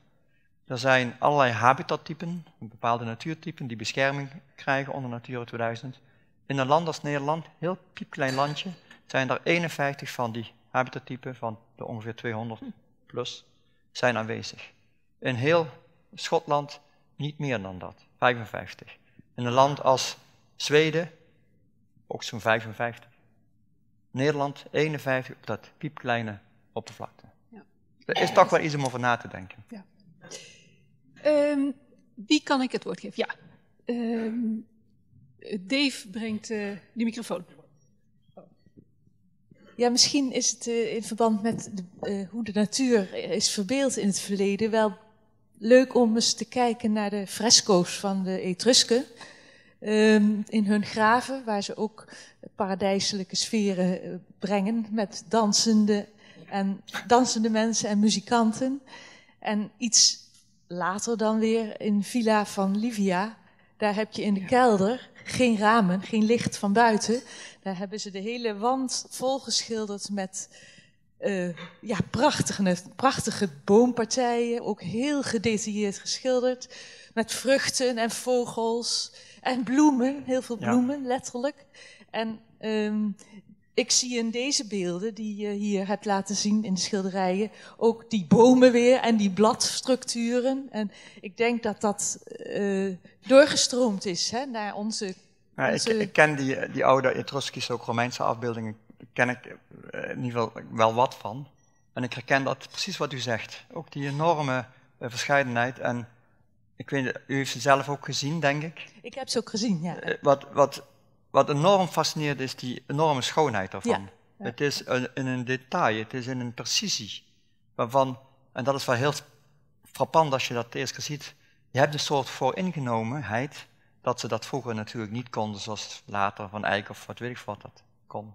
Dat is niet waar. Nee, dat is niet zo. Dat is gewoon niet waar. Ja. Eigen schoonheid in het uitbeelden van de, van de natuur. Ja. ja. Wie kan ik nog meer het woord geven? Niemand van Staatsbosbeheer of Natuurmonument? nou, ik wil, daar, ik, ik wil dat toch iets zeggen. Ik ga, nog, natuurlijk, nog één, uh, ja, ik ga dat werk van hun natuurlijk niet afbreken, want ze, hebben, ze doen fantastisch werk. Maar het was ook wel, ook wel nodig dat er een keer wat, wat, uh, wat in die vijver gegooid werd. En die rimpeling is denk ik goed. Die is ook hier nu opgemerkt. Ja. Als je mensen uit het buitenland Nederland laat zien, dan is mijn ervaring dat het toch over het algemeen uh, tot enige teleurstelling leidt. Als ik mensen uit Engeland of Amerika Nederlandse natuur laat zien, dan uh, zeggen ze meestal na het bezoek aan een, bijvoorbeeld de Biesbos, het grootste uh, nationaal park in ons land, dus vragen ze aan het eind van waar is nou die natuur van jullie? dus het, ik, is het niet zo dat, dat eigenlijk iedereen in zijn eigen paradijs leeft? Dus... Nou ja, dat gun ik iedereen ik denk het, eh, ik, ik, ken deze uh, beschouwing heel goed, uh, Frank. Ik, wat wij niet hebben, is die grootste natuur. We hebben geen regenwouden, we hebben geen toendras, ik heb het ook genoemd. En dat is de natuur waar sommige mensen toch altijd van verwachten dat ze dat te zien krijgen. Wat wij hebben, is een heel kleinschalige, heel gevarieerde natuur die wat meer tijd nodig heeft om, om tot je door te dringen. Maar als het tot je doordringt, en dat is bij jou zelf ook gebeurd, dan heeft hij een enorme schoonheid. Het enige wat verschil is tussen jou en mij, dat jij vooral naar vogels kijkt en ik uh, meer naar planten, ook naar vogels. En er zijn 1500 planten en er zijn 200 vogels. Dus ik... Goed. Ik vermoed hier allerlei langdurige discussies onder. um, we gaan uh, zo meteen over naar het volgende onderdeel van deze avond. Uh, zo dadelijk uh, komt uh, Lieve de Kouter aan het woord. Maar voordat hij zijn inleiding geeft, gaan we eerst luisteren opnieuw naar Fransje Broekema, die een, verhaal, een deel uit het verhaal van Bart Moejaert gaat voorlezen. Het Paradijs. Fransje. In het begin waren we nooit alleen. We stonden met onze blote voeten midden in de overvloed. En als we gingen liggen, dan was het alsof we in het leven verdronken. Dan zochten de vrouw en ik elkaars hand en trokken we elkaar als het ware op het droge. Gaat het? zei ze dan tegen mij of ik tegen haar. En dan ging het weer. In het begin voelden we ons nooit alleen.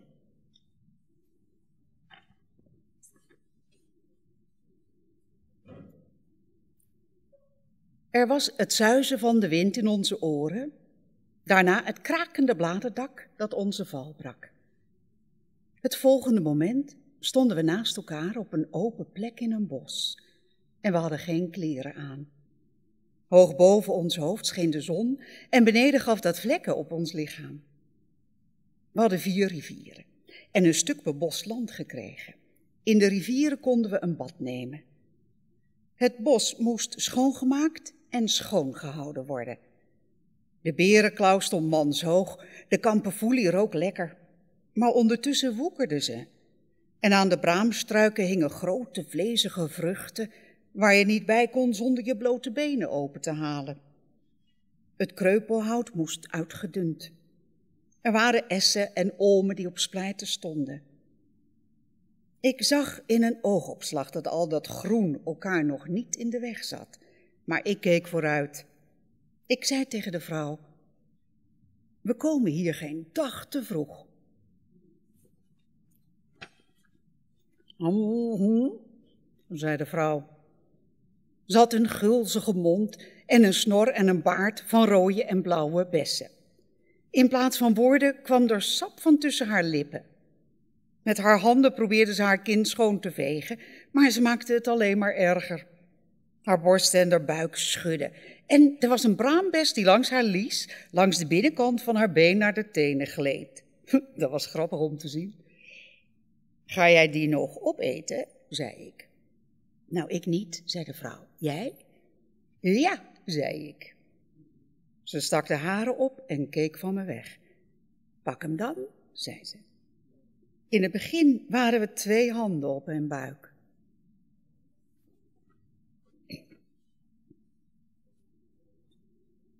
Ons leven speelde zich in de zomer af.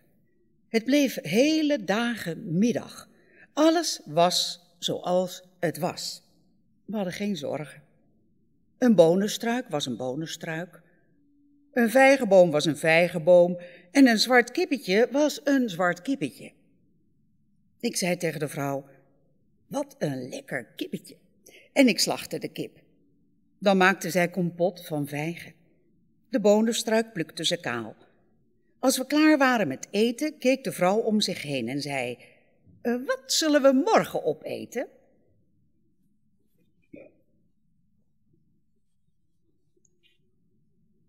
Na het werken in het bos gingen we onder de zakdoekenboom liggen. We namen niet veel plaats in. Een ree kwam aan onze neus snuffelen en wij snuffelden terug. Een leeuwerik klom de lucht in en bleef daar babbelend hangen. Hij zong, dit hou ik dagenlang vol, dit hou ik dagenlang vol. Kroop een tor langs die we nog niet eerder hadden gezien. Een geur bedwelmde ons. Soms stonk de kamperfoelie mierzoet. Boven ons hing de zon, als altijd. Hij klom ochtends boven de kruinen, zakte s'avonds achter de einder en hield daar dan alles aan het sudderen. En de volgende dag was er weer geen tegenhouden aan. Hij schurkte zich met zijn rug tegen de hemel aan en scheen voluit. Hij scheen van goud. Hij scheen, hij scheen. Je zou het schitteren kunnen noemen, maar het was branden wat hij deed.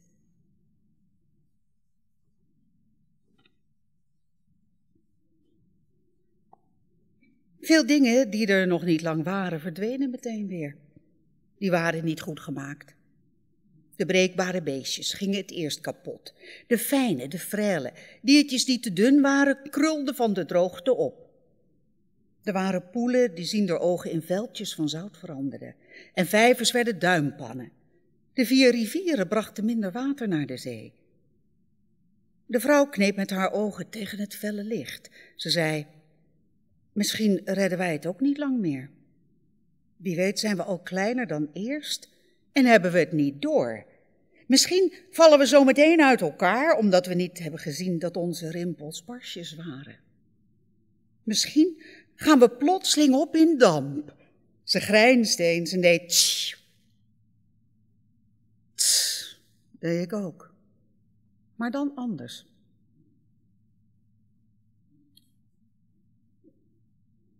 Ik heb voor jullie een tekst gemaakt, ook een beetje voor mezelf. Ik heb die vandaag online gezet.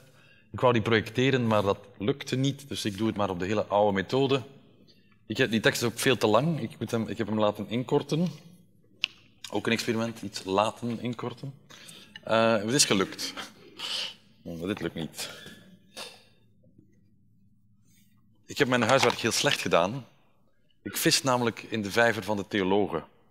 Ik moest het hebben over de het paradijs nu, maar ik heb het over het paradijs court.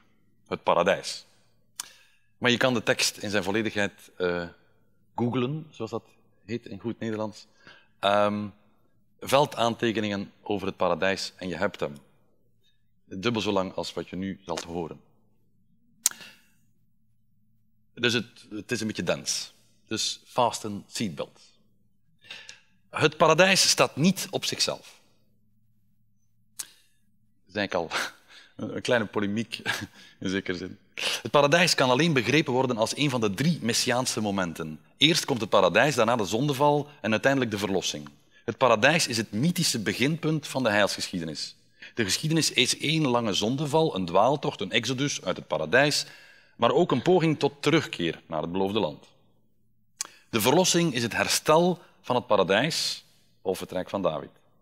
Dat in wezen circulaire narratief is de basis van de hele joods-christelijke en zelfs islamitische cosmogonie en eschatologie.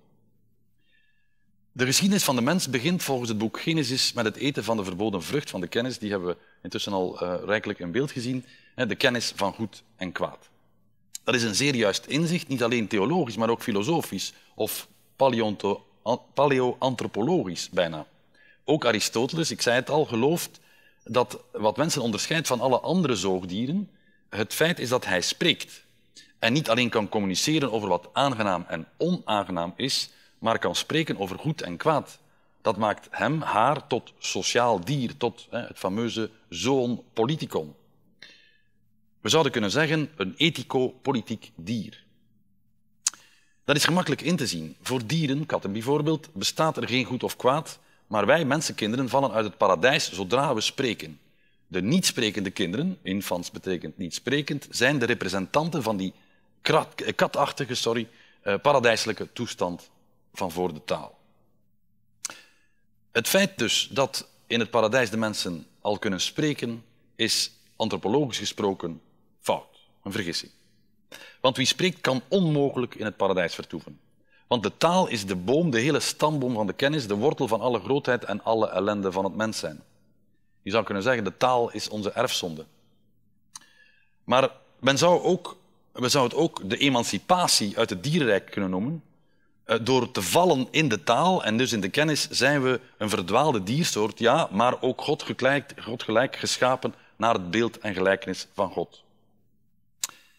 Ook in de Kabbala is die kennis van goed en kwaad voor de interpretatie van het paradijsverhaal cruciaal. In een boek dat tot de jongste delen behoort van de beroemde verzameling Zohar, de Raja Mehenna, is er sprake van de twee bomen in het paradijs. Want u hebt gezien dat die, die andere boom altijd meteen uit beeld verdwijnt. Maar niet in dit verhaal.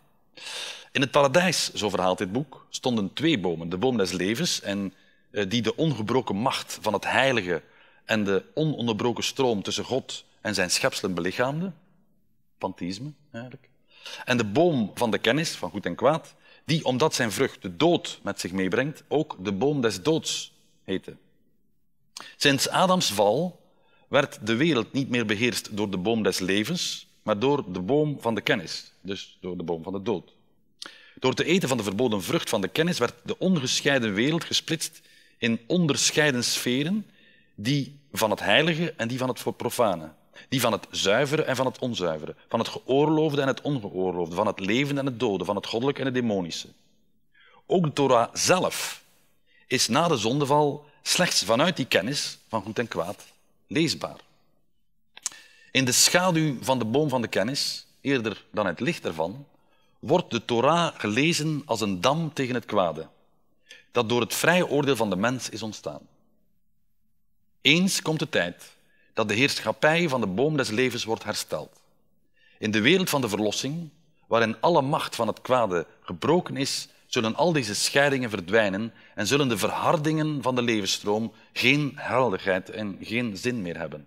Wanneer de wereld weer onder de wet van de boom des levens staat, zal het gezicht van de halasha, of halacha, de, de voorschriften veranderen. En dan een zin die mij zeer dierbaar is. Uh, ze is eigenlijk van Scholem, want het is eigenlijk een parafrase van, van een boek van Scholem. Uh, Gershom Scholem, de uh, grondlegger van de Kabbalah-studies. dus hier komt ze. Waar alles heilig is, zijn geen beperkingen en verboden meer nodig. Prachtig verhaal. Maar nu zijn we in heel die contrastwerking, dat klank- en lichtspel tussen de twee bomen van het, van het paradijs, het paradijs zelf, het bos, zeg maar, of het struweel, uh, een beetje uit het oog verloren. Wat valt op in het paradijs? Naast die ongelukkige scène van de slang en de appel van de boom van de kennis. Wat ziet een denkbeeldige antropoloog, die ik nu even speel, die bij Adam en Eva op bezoek gaat? De eerste mensen werken niet, ze zijn naakt, maar dan van een totaal onschuldige, onnozele naaktheid. Ze zijn zich niet eens van bewust, het zijn doorwinterde nudisten. Uh, deze beide elementen zijn fundamenteel. Uh, de, de, mensen van het paradijs zijn nog geen mensen. Ze werken niet, ze koken ook niet, dus uh, Moejaard zit er ook helemaal naast. Ze, ze, maken geen cultuur, dus het zijn voor mensen. ze maken geen huizen, ze hebben geen kleren, want, want dat moet je maken. Dus ze maken niets. Adam en Eva zijn van alle techniek en, en, technologie ontbloot, maar ook van enige schaamte. Uh, lijden kennen ze ook niet en moraal hebben ze, zoals gezien, niet nodig. Uh, er staat zelfs geen hut in het paradijs. Deze stam hier geeft geen enkel werktuig. Dit is nu werkelijk het ultieme natuurvolk, zou onze denkbeeldige antropoloog in zijn dagboek over Adam en Eva noteren. Het paradijs is nogthans het tegendeel van de natuurtoestand. Het is het tegendeel van de oorlog van allen tegen allen, zoals Hobbes die heeft uh, gepenseeld, uh, een soort helse toestand. Van de universele burgeroorlog die pas een einde neemt met het sociaal contract met de soeverein. Is de natuurtoestand een universele planetaire burgeroorlog, dan is het paradijs een alomvattende vrede en wel een zonder verdragen, zonder verbodsbepalingen of kleine lettertjes. De natuurtoestand is de Hobbesiaanse hel en helaas ook een gruwelijke en wijdverspreide, ja, zich steeds verder uitzaaiende realiteit. Syrië, Irak, Sudan, Somalië, Nigeria en ga ze maar door. Het kan ook naar hier komen, maar daar heb ik elders over geschreven. Het is door de combinatie van al die aspecten, naaktheid, werkeloosheid, totale cultuurloosheid en de afwezigheid van een besef van goed en kwaad en van kennis in het algemeen, maar ook door de afwezigheid van oorlog en burgeroorlog, dat men het boek Genesis kan begrijpen als een soort van absolute voorgeschiedenis. De, de pre-prehistorie, Dat wat voor de geschiedenis komt. Met de zondeval en de verdrijving uit het paradijs begint pas de geschiedenis. De verlossing is dan de posthistorie, het einde van de geschiedenis, dat wat na het einde, de voltooiing van de geschiedenis komt. Het herstelde paradijs. Is de verlossing een utopie, dan is het paradijs misschien wel het oermodel van de heterotopie. Een heterotopie, zegt Foucault in een lezing uit 1967 voor architecten, is een andere plek, de plek van andersheid. Zoals een heteroseksueel heterotopie. Andere plek. Het is een plek die de continuïteit van het gewone, van het alledaagse, of zoals men in België zou zeggen, van het dagdagelijkse onderbreekt. Het is ook altijd een andere tijd. Heterotopieën hebben iets utopisch. Het zijn volgens Foucault gerealiseerde utopieën, zoals sommige van zijn voorbeelden duidelijk maken. Het naaktstrand, de sauna, de hammam, de honeymoon, het bordeel, het theater. En ook de tuin. Heterotopieën zijn plekken waar het gewone niet geldt, waar de gewone orde opgeheven wordt, tussen haakjes gezegd, of zelf, zelfs op haar kop. De tuin staat hoog in de lijst van Foucault's voorbeelden. Het is een wereld in, een klein, in het klein een lustoord. Het paradijs is een tuin, een park zeg maar, voor de eerste mensen. Dus het paradijs is een heterotopie. Elke tuin is een paradijstuin. En die, die paradijstuin hebben we heel mooi in beeld gekregen. Uh, een, ik verwijs hier, maar dat stukje heb ik weggelaten, naar een uh, landschapsarchitect, Gilles Climat, die spreekt van uh, le, le, jardin planétaire, de, de, planetaire tuin. En ik, in de hele mooie lezing zag ik die planetaire tuin als het ware in beeld komen. Wat er ook van zij, in het christendom is het paradijs verhuisd naar de hemel. Ruimtelijke coördinaten al even ongewis, of misschien nog ongewisser, uh, dan die van de tuin van Eden. De tuin van Eden is geen hof meer, maar dan eerder een wolk, iets heel etherisch. Zoals het paradijs van de aarde naar de hemel is verhuisd, is, ook, is in het christendom ook de verlossing geen aards collectief gebeuren meer, maar een individuele hoop op de hemel, het hiernamaals. Dat is wellicht een breuk met de leer van de historische Jezus de Nazareër, die natuurlijk door en door Joods was en een revolutionair van eerste orde, die de Romeinse bezetter en de collaborerende priesterkasten van de fariseërs en andere witgekalkte graven wou afzetten en koning wou worden, Messias. Met die revolutionaire, of althans radicale geest van het vroege christendom heb ik sinds mijn prille jeugd een sterke voeling. En ook nu nog spreekt het de atheïst in mij aan. Die geest vindt men uh, heel sterk in de bergreden.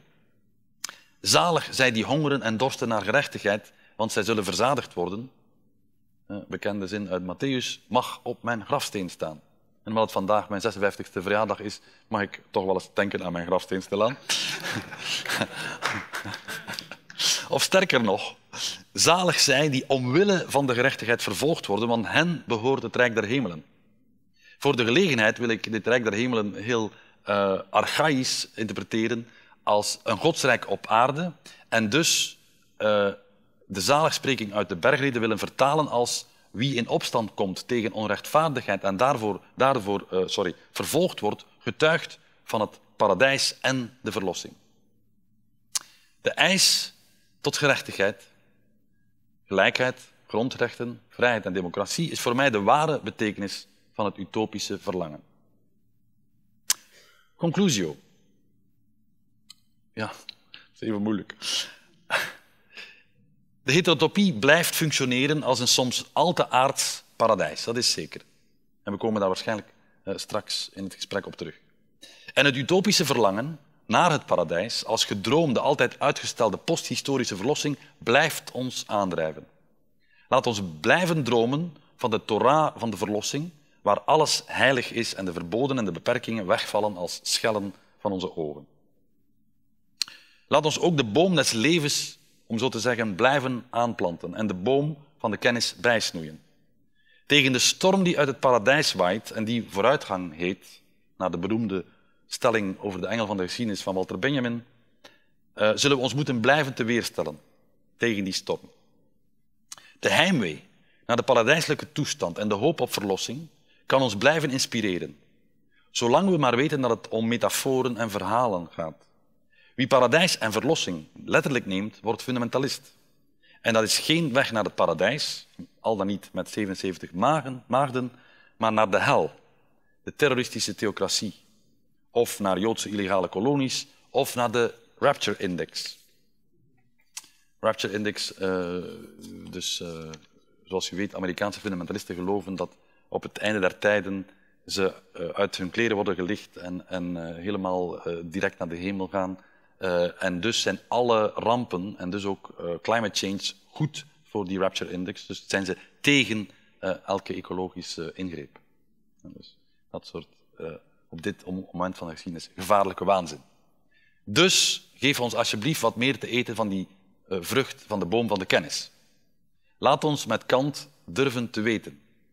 Uittocht uit de onwetendheid en de onmondigheid van het infantiele, het niet sprekende, is altijd een uittocht uit het paradijs, maar het kan misschien de hel, de nachtmerrie van een planetaire burgeroorlog bijvoorbeeld, helpen vermijden. Ik dank u.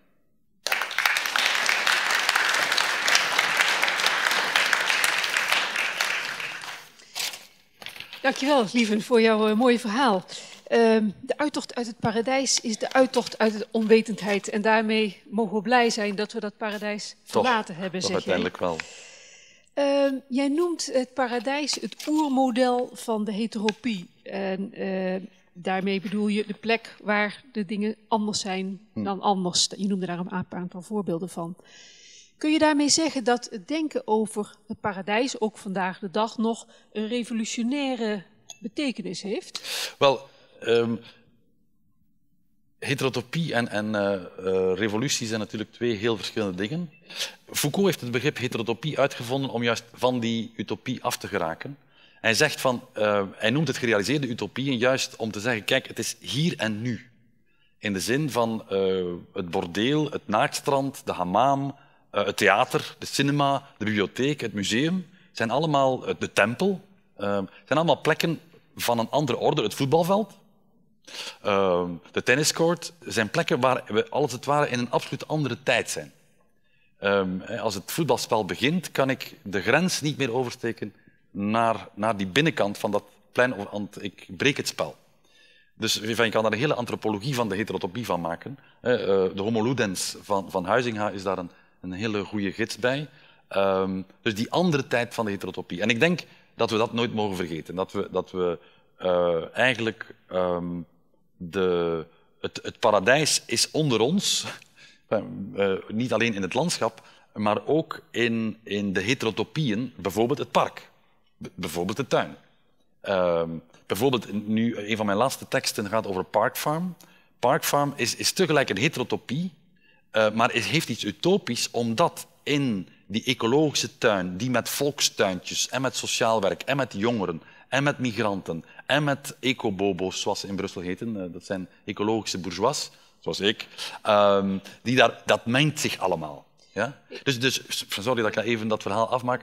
Uh, dus in dat, die heterotopie kan je iets utopisch realiseren, namelijk een soort ecologische uh, integratie van zowel stadslandbouw, uh, maar ook uh, sociale integratie tussen culturen die elkaar anders misschien straks naar het leven staan. Die, die voorbeelden van heterotopieën die jij noemt, voetbalwedstrijden, het mm. park, mm. theater, dat zijn eigenlijk allemaal tijdelijke toestanden. Ja, ja, de, de heterotopie is, is altijd, uh, dus het is altijd gesloten. Ook de, de paradijstuin is natuurlijk, daar hebben we niet, uh, niet op uh, ingegaan, maar de, als het een tuin is, is het, is het bijna verondersteld afgesloten. Uh, een, een, open tuin is meer een landschap. Uh, dus eigenlijk niet echt een tuin. Uh, maar en de heterotopie is, is inderdaad altijd een tijd. Waar ontsnappen we aan als we een, een heterotopie, heterotopie realiseren? Um, we, we, doen iets wat, wat uh, ja, des mensen is. We, we, we spelen of we, we, doen aan rituelen. Uh, denk aan theater, een zeer bizar ritueel. Uh, mensen staan daar dingen te doen die ze niet zijn. Uh, of mensen lezen teksten voor alsof ze uh, ze zelf uh, uitgevonden hebben. Dus we spelen of we beelden dingen. We gaan kijken naar mensen die, die urenlang hebben staan tekenen of schilderen. Dus we maken cultuur, om, een lang verhaal kort te maken. Maar we vergeten vaak dat die cultuur um, ons in contact brengt met, met iets heel bijzonders. Um, ehm, met, met die, ja, met dat, dat menselijke van, van de mensen, wat je, wat je niet zomaar, wat je alleen maar kan doen. Door, ik bedoel, ik zeg altijd aan mijn studenten, als het, als het altijd weer over dat onderscheid tussen mens en dier gaat, apen schrijven geen gedichten. En uh, in die heterotopie, of het nu het museum, de cinema, het, weet ik veel wat, de bibliotheek, uh, het theater is, uh, maar ook de, de, het naaktstrand, maar ook het, voetbalveld, en, en, ga ze maar door, um, komen we in contact met het menselijke, namelijk het, het speelse gedrag en het rituele gedrag. Iets wat we in deze tijd van economie vergeten. Want wat is de reden waarom we daar zo'n utopie voor nodig hebben om speels te kunnen zijn, om cultureel te kunnen zijn? Ja, wel, ja, ik weet het. Het is, het is, het is een lang verhaal. Um, we ons proberen. kort. Ja, ja, ik probeer het kort te houden. Kijk, waarom ik, heb ik een heel boek gemaakt over heterotopie met, met een collega? Uh, omdat in deze tijd, als men mij zegt, de universiteit is een bedrijf, um, dan, dan bloedt mijn hart omdat uh, de, de school, eh, op zijn Grieks gezegd, is, uh, hoort bij uh, niets doen. Ja? Dus het niets doen, en, en alle heterotopieën die we kunnen opnoemen, zijn, gaan over niets doen. Dus voor mij is de heterotopie de tijd buiten de economie en buiten de politiek. En, en dat de, vergeten wij niet. En daar is de link met het paradijs. En daar zit ah, inderdaad ook de link. Je zou kunnen zeggen, uh, de, de, ik zal niet zeggen dat alle heterotopieën paradijselijk zijn, um, maar, maar, het park als een van de grote heterotopieën, uh, ook vandaag de dag nog, en in de geschiedenis van de mens, is, is altijd een beetje een paradijstuin. Uh, en het naaktstrand en, en, de hammam en de sauna, je zou kunnen zeggen dat zijn uh, heel paradijselijke plekken. Um, maar ik denk dat we de heterotopie moeten verdedigen omdat ze door haar kracht om mensen samen te brengen, um, en door haar uh, niet-kapitalistische economische logica en door haar soort buitenpolitieke, speelse, rituele uh, gedragsvormen uh, een soort, ja, de utopie hier en now is.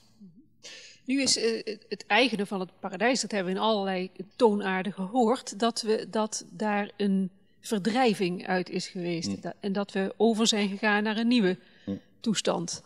Um, als jij zegt die utopie of die heterotopie, um, die is tijdelijk en je gaat weer terug, hm.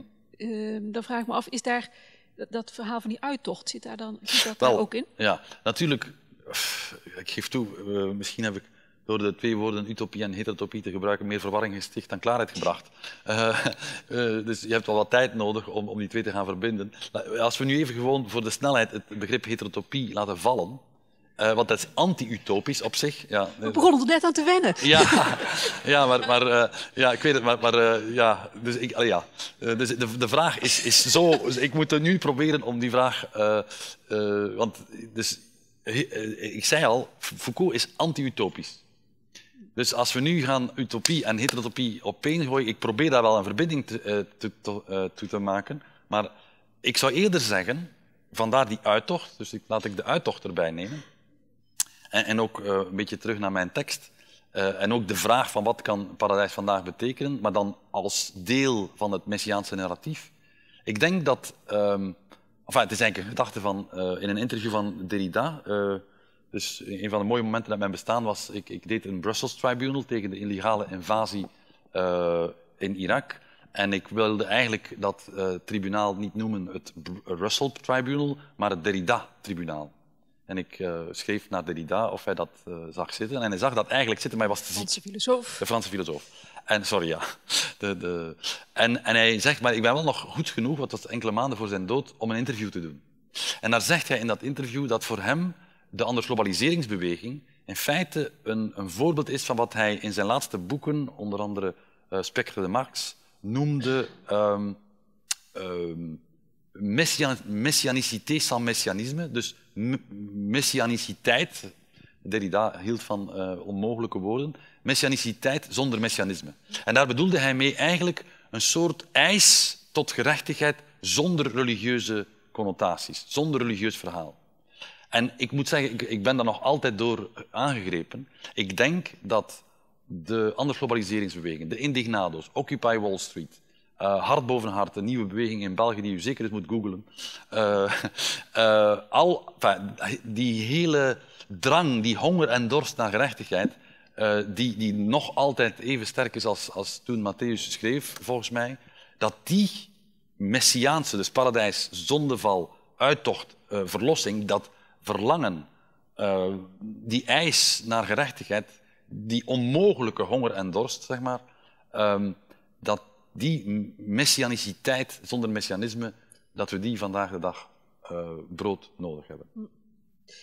Voor, uh, voordat we hier uh, met de avond begonnen, zei je al, ik ben niet alleen filosoof, maar ik ben ook activist. Ja. En dat laat je nu even ja, ja. merken. Ja, want het is voor mij één continuum. Ja.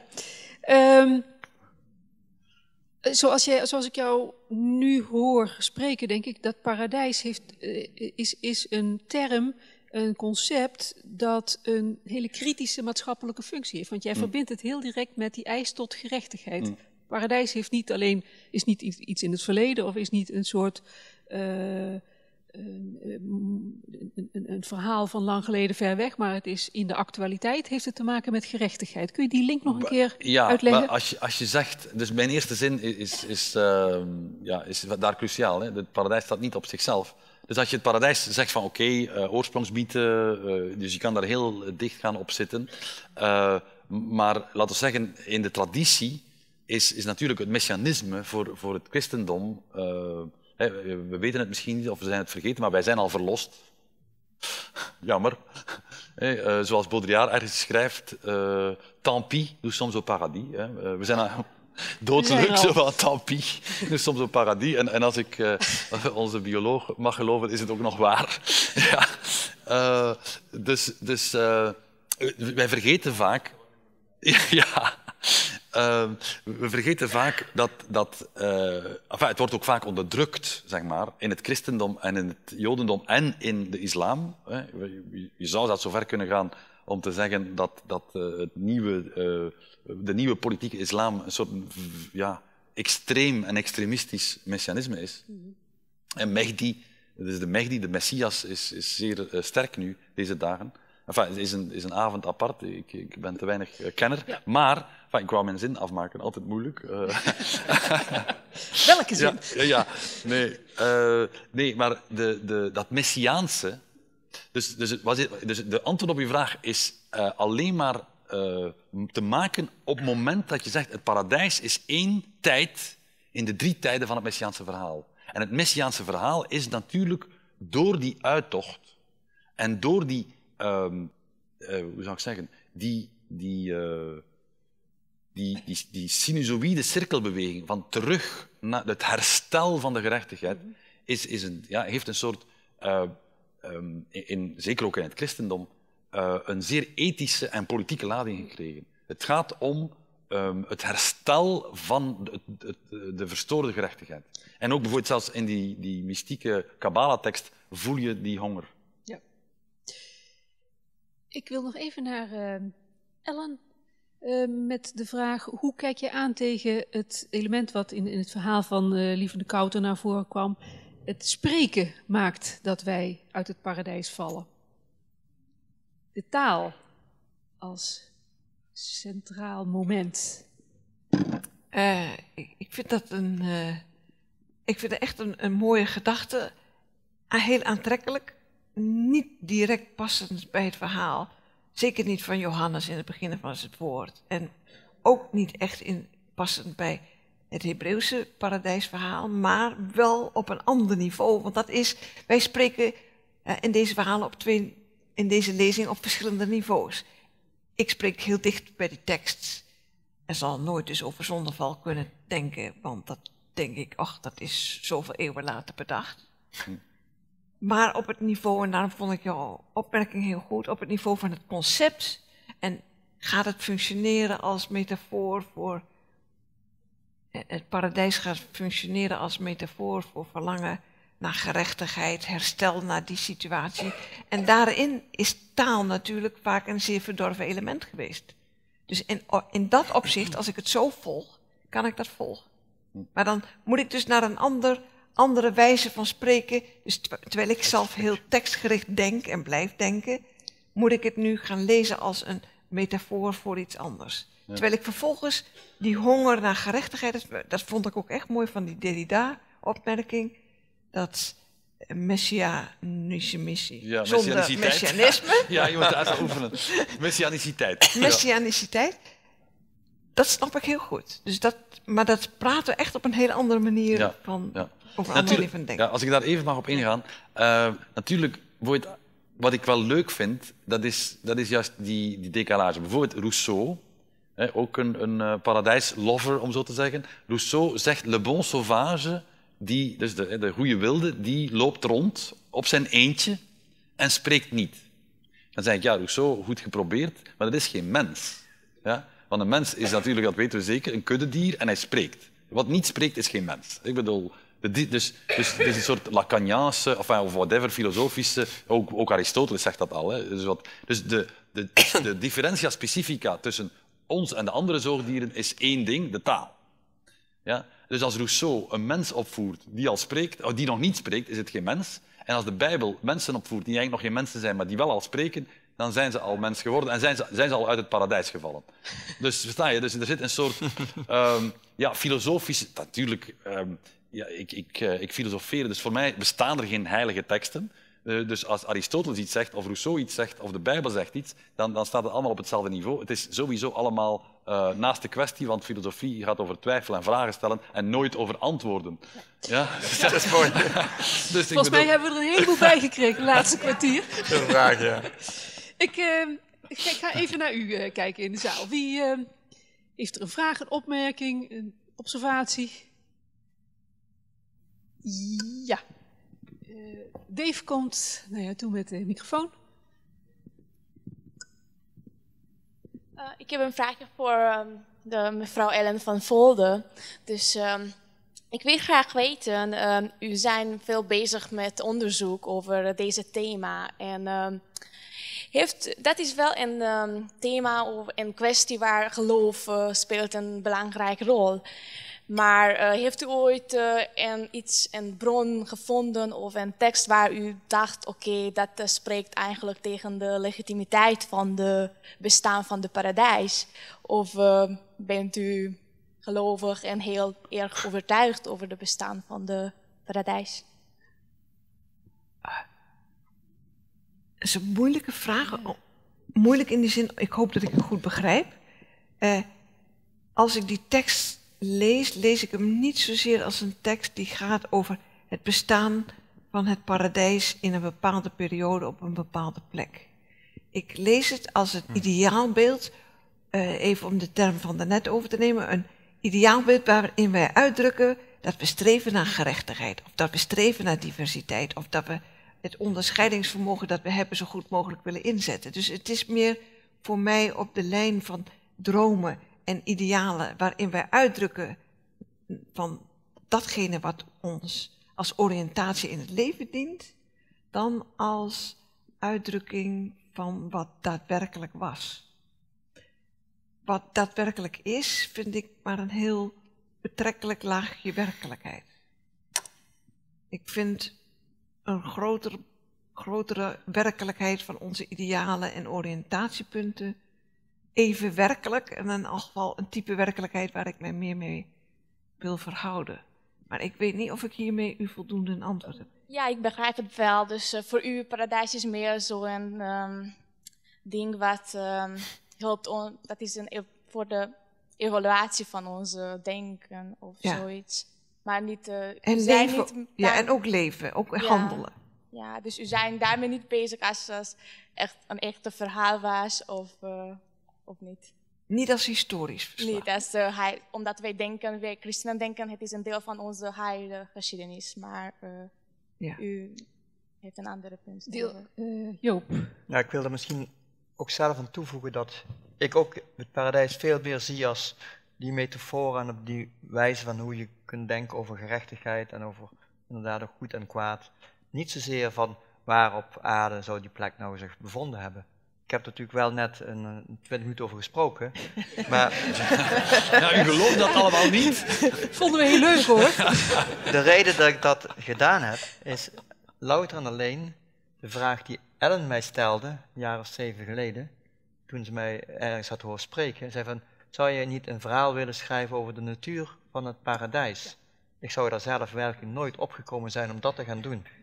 Maar toen de vraag kwam, vond ik me zo fascinerend dat ik er wel met ongelooflijk veel uh, ja, uh, energie en ijver uh, mee aan de slag ben gegaan.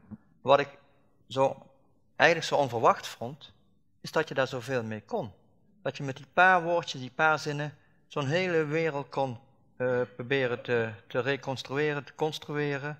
En het klopt ook nog. En als je het dan doorvertaalt naar ons eigen handelen en zijn hier in Nederland met natuurbeheer, waar we ons zorgen voor maken, hoe kunnen we het in godsnaam allemaal goed doen, dan kun je daar ook nog dat beeld uh, bij gebruiken.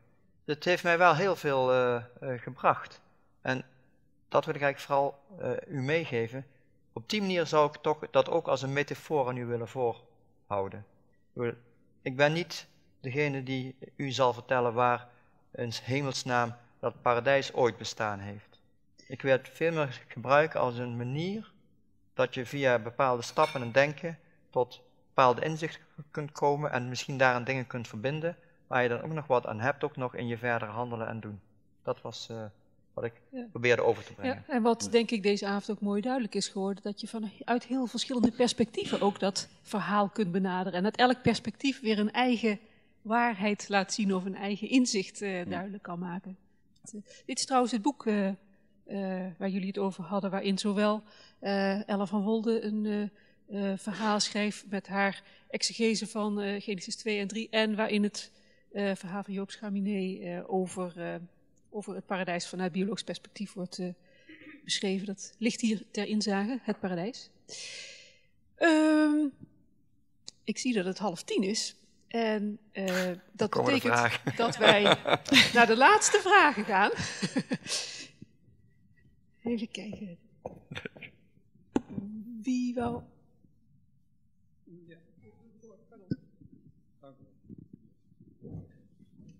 Uh, we hebben het over het paradijs gehad, maar ik heb zo'n idee dat we drie soorten paradijs gesproken hebben, over drie soorten paradijzen. Maar het komt mij toch niet duidelijk over dat, dat ik het ware paradijs heb begrepen. Nou is de kunst natuurlijk, moet je dat zelf of moet je het via het andere, het paradijs ontdekken. Het ware paradijs is natuurlijk ook de ware mens. Dus je moet eerst een ware mens zijn om de ware paradijs te ontdekken. Dus drie soorten paradijs. Hè? We hebben deze avond alleen gesproken over aardse paradijs. Maar ik mis toch de hemelse paradijs. Is er, is er iets, nou een hemels paradijs, is daar, daar, zijn, daar zijn verwijzingen naar gemaakt. Um, ja, we, we, hebben, ik heb het expliciet gehad over het hemelse paradijs. Toch? Heel expliciet zelfs. Dus uh, de, de christenen hebben het paradijs, naar mijn gevoel, tegen uh, alle logica in naar de hemel verhuist. Uh, de Joden kennen dat niet, of toch veel minder. Dus het leven na de dood is, is niet, niet zo centraal in het Jodendom. Um, dus het hiernamaals is, is een heel rare uitvinding, vind ik nog altijd. En waar gaan katten naartoe? na de dood zijn we dan zoveel anders en meer. Dus ik, ik heb het altijd een moeilijk probleem gevonden. Um, maar, maar natuurlijk, de, de, vraag, de open vraag naar het paradijs, dus wat je eerst zei, is natuurlijk... Uh, het, het, paradijs is wat je, wat je in het Frans noemt een lege signifiant, een lege betekenaar. Dat betekent uh, zwemparadijzen, uh, belastingparadijzen, uh, ja, zoet, zoetwaterparadijzen. Ga zo maar door. Ik, ik, ik heb het niet gedaan, want het is pas aan tafel dat mij opviel van ja, god, als we het paradijs vandaag, dat, dat is een waslijst aan termen die, die allemaal naar, naar, uh, ja, naar zeer willekeurige dingen verwijzen als het maar subtropisch is. dus de vraag, uh, de vraag die meneer stelt, is er een waar paradijs? Want dat hoor ik me vragen, die is eigenlijk niet op deze manier te beantwoorden. Nee. Als u het uh, kort wil houden, alsjeblieft. we zijn hier met z'n allen hier. Betekent dat we dat we ook in het paradijs, paradijs kunnen zijn. Hm. Pardon? Betekent dat? Dat we ook in het paradijs kunnen zijn. Ja. Paradijs kunnen zijn. Maar ik, ik heb het idee dat niemand van ons hier in het paradijs komt. Ja, omdat, ja, omdat, nou. Ja, ik, ik kan nu zeggen... Uh, ja, je gaat uit van een het denken. Ja. Denken, denk je dat je het wel, maar er is niemand die in het Een mogelijk antwoord is een stukje van mij. Het is nog niet afgewerkt, maar ik, ik, uh, ik heb nu zin om het af te werken. Misschien is deze vraag uh, de, het ontstekingsmechanisme om af te werken. Ik zat op een bepaalde dag in de tuin, een zomerse avond, ja. en ik zeg tegen mijn vrouw, ik heb, uh, ik, ik, zei het al, eco-bourgeois, ik heb een hele mooie tuin. Met, met zwempartij, vissen, alles wat je wil. Mooi oud huis enzovoort. En ik zeg tegen mijn vrouw, het is hier het paradijs. Vervolgens begin ik alle fouten van onze tuin op te sommen. Waarom? In het paradijs moet alles perfect zijn. En ik zeg, ja, het is hier het paradijs, maar die heg, die tak, die boom, dat gras, die pla... Dus ik, ik, het blijft niets meer heel van mijn paradijs. En mijn vrouw zegt, dat is nu typisch. Je, je zegt, dit is het paradijs, en je begint vanuit de eis van perfectie de hele tuin af te kammen en af te kraken. Um, het, het, stukje zou heten uh, De geboorte van de kritiek uit de geest van de paradijstuin. Ja. Uh, maar ik denk dat het voor ons mensen inderdaad super moeilijk is om in het paradijs te zitten. Want hoe paradijselijker, hoe kritischer in zekere zin. En die, die tussen... En ik moet zeggen, ik ben een heel uh, sterk specimen. Uh, ik ben een grote... hoe zou ik zeggen? Een grote para paradise lover. dus de roes is mij zeer lief. Um, dus, dus ik, mijn directe antwoord zou zijn, wil u in het paradijs zijn? zoek de roes. Maar de kritiek is mij ook zeer lief. En die, die tweespalt, als je zo wil, van de mens... En, en ook dialectiek tussen enerzijds de, de hang naar het paradijs, maar vanuit die hang naar perfectie het kritische ingesteld zijn, ja, we zullen er altijd opnieuw uitvallen en we zullen het altijd opnieuw zoeken. Prachtige afsluiting, uh, lieve. Ja. Zen is ook een mogelijkheid. oh, we zijn niet in het paradijs, maar we hebben er vanavond van allerlei kanten naartoe gekeken. En wat mij bijblijft is uh, het paradijs dat dat uh, dat dat gezien kan blijven worden als een oriëntatie op het leven waarin het streven naar gerechtigheid een belangrijke rol speelt. Dat is toch wat, denk ik, steeds op verschillende manieren in deze, op deze avond naar voren is gekomen. Wij gaan deze avond uh, afsluiten en dat doe ik door uh, allereerst u allemaal heel erg hartelijk te bedanken voor uw komst. Uh, heel fijn dat u er was en dat u mee wilde spreken, mee wilde denken, praten met ons. Ik wil heel erg hartelijk danken onze sprekers. Allereerst stemactrice Fransje Broekma. Heel hartelijk dank.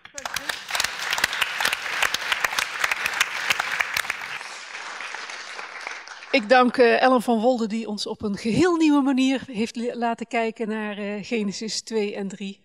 die man en die vrouw en de mens en de slang. We zullen ze nooit meer zo zien en horen als we ze gehoord hebben. Ik dank Joop Schaminier die ons duidelijk heeft gemaakt dat het paradijs veel dichterbij is dan we denken. Dat we alleen maar hoeven te kijken. En ik dank uh, de jarige filosoof Lieven de Kouter voor zijn hartstochtelijke pleidooi voor, uh, voor rechtvaardigheid. wij nodigen jullie allemaal uit om met ons een... van harte uitgenodigd om met ons een glas te drinken en de roes te beleven samen met onze jarigen. En graag tot de volgende keer.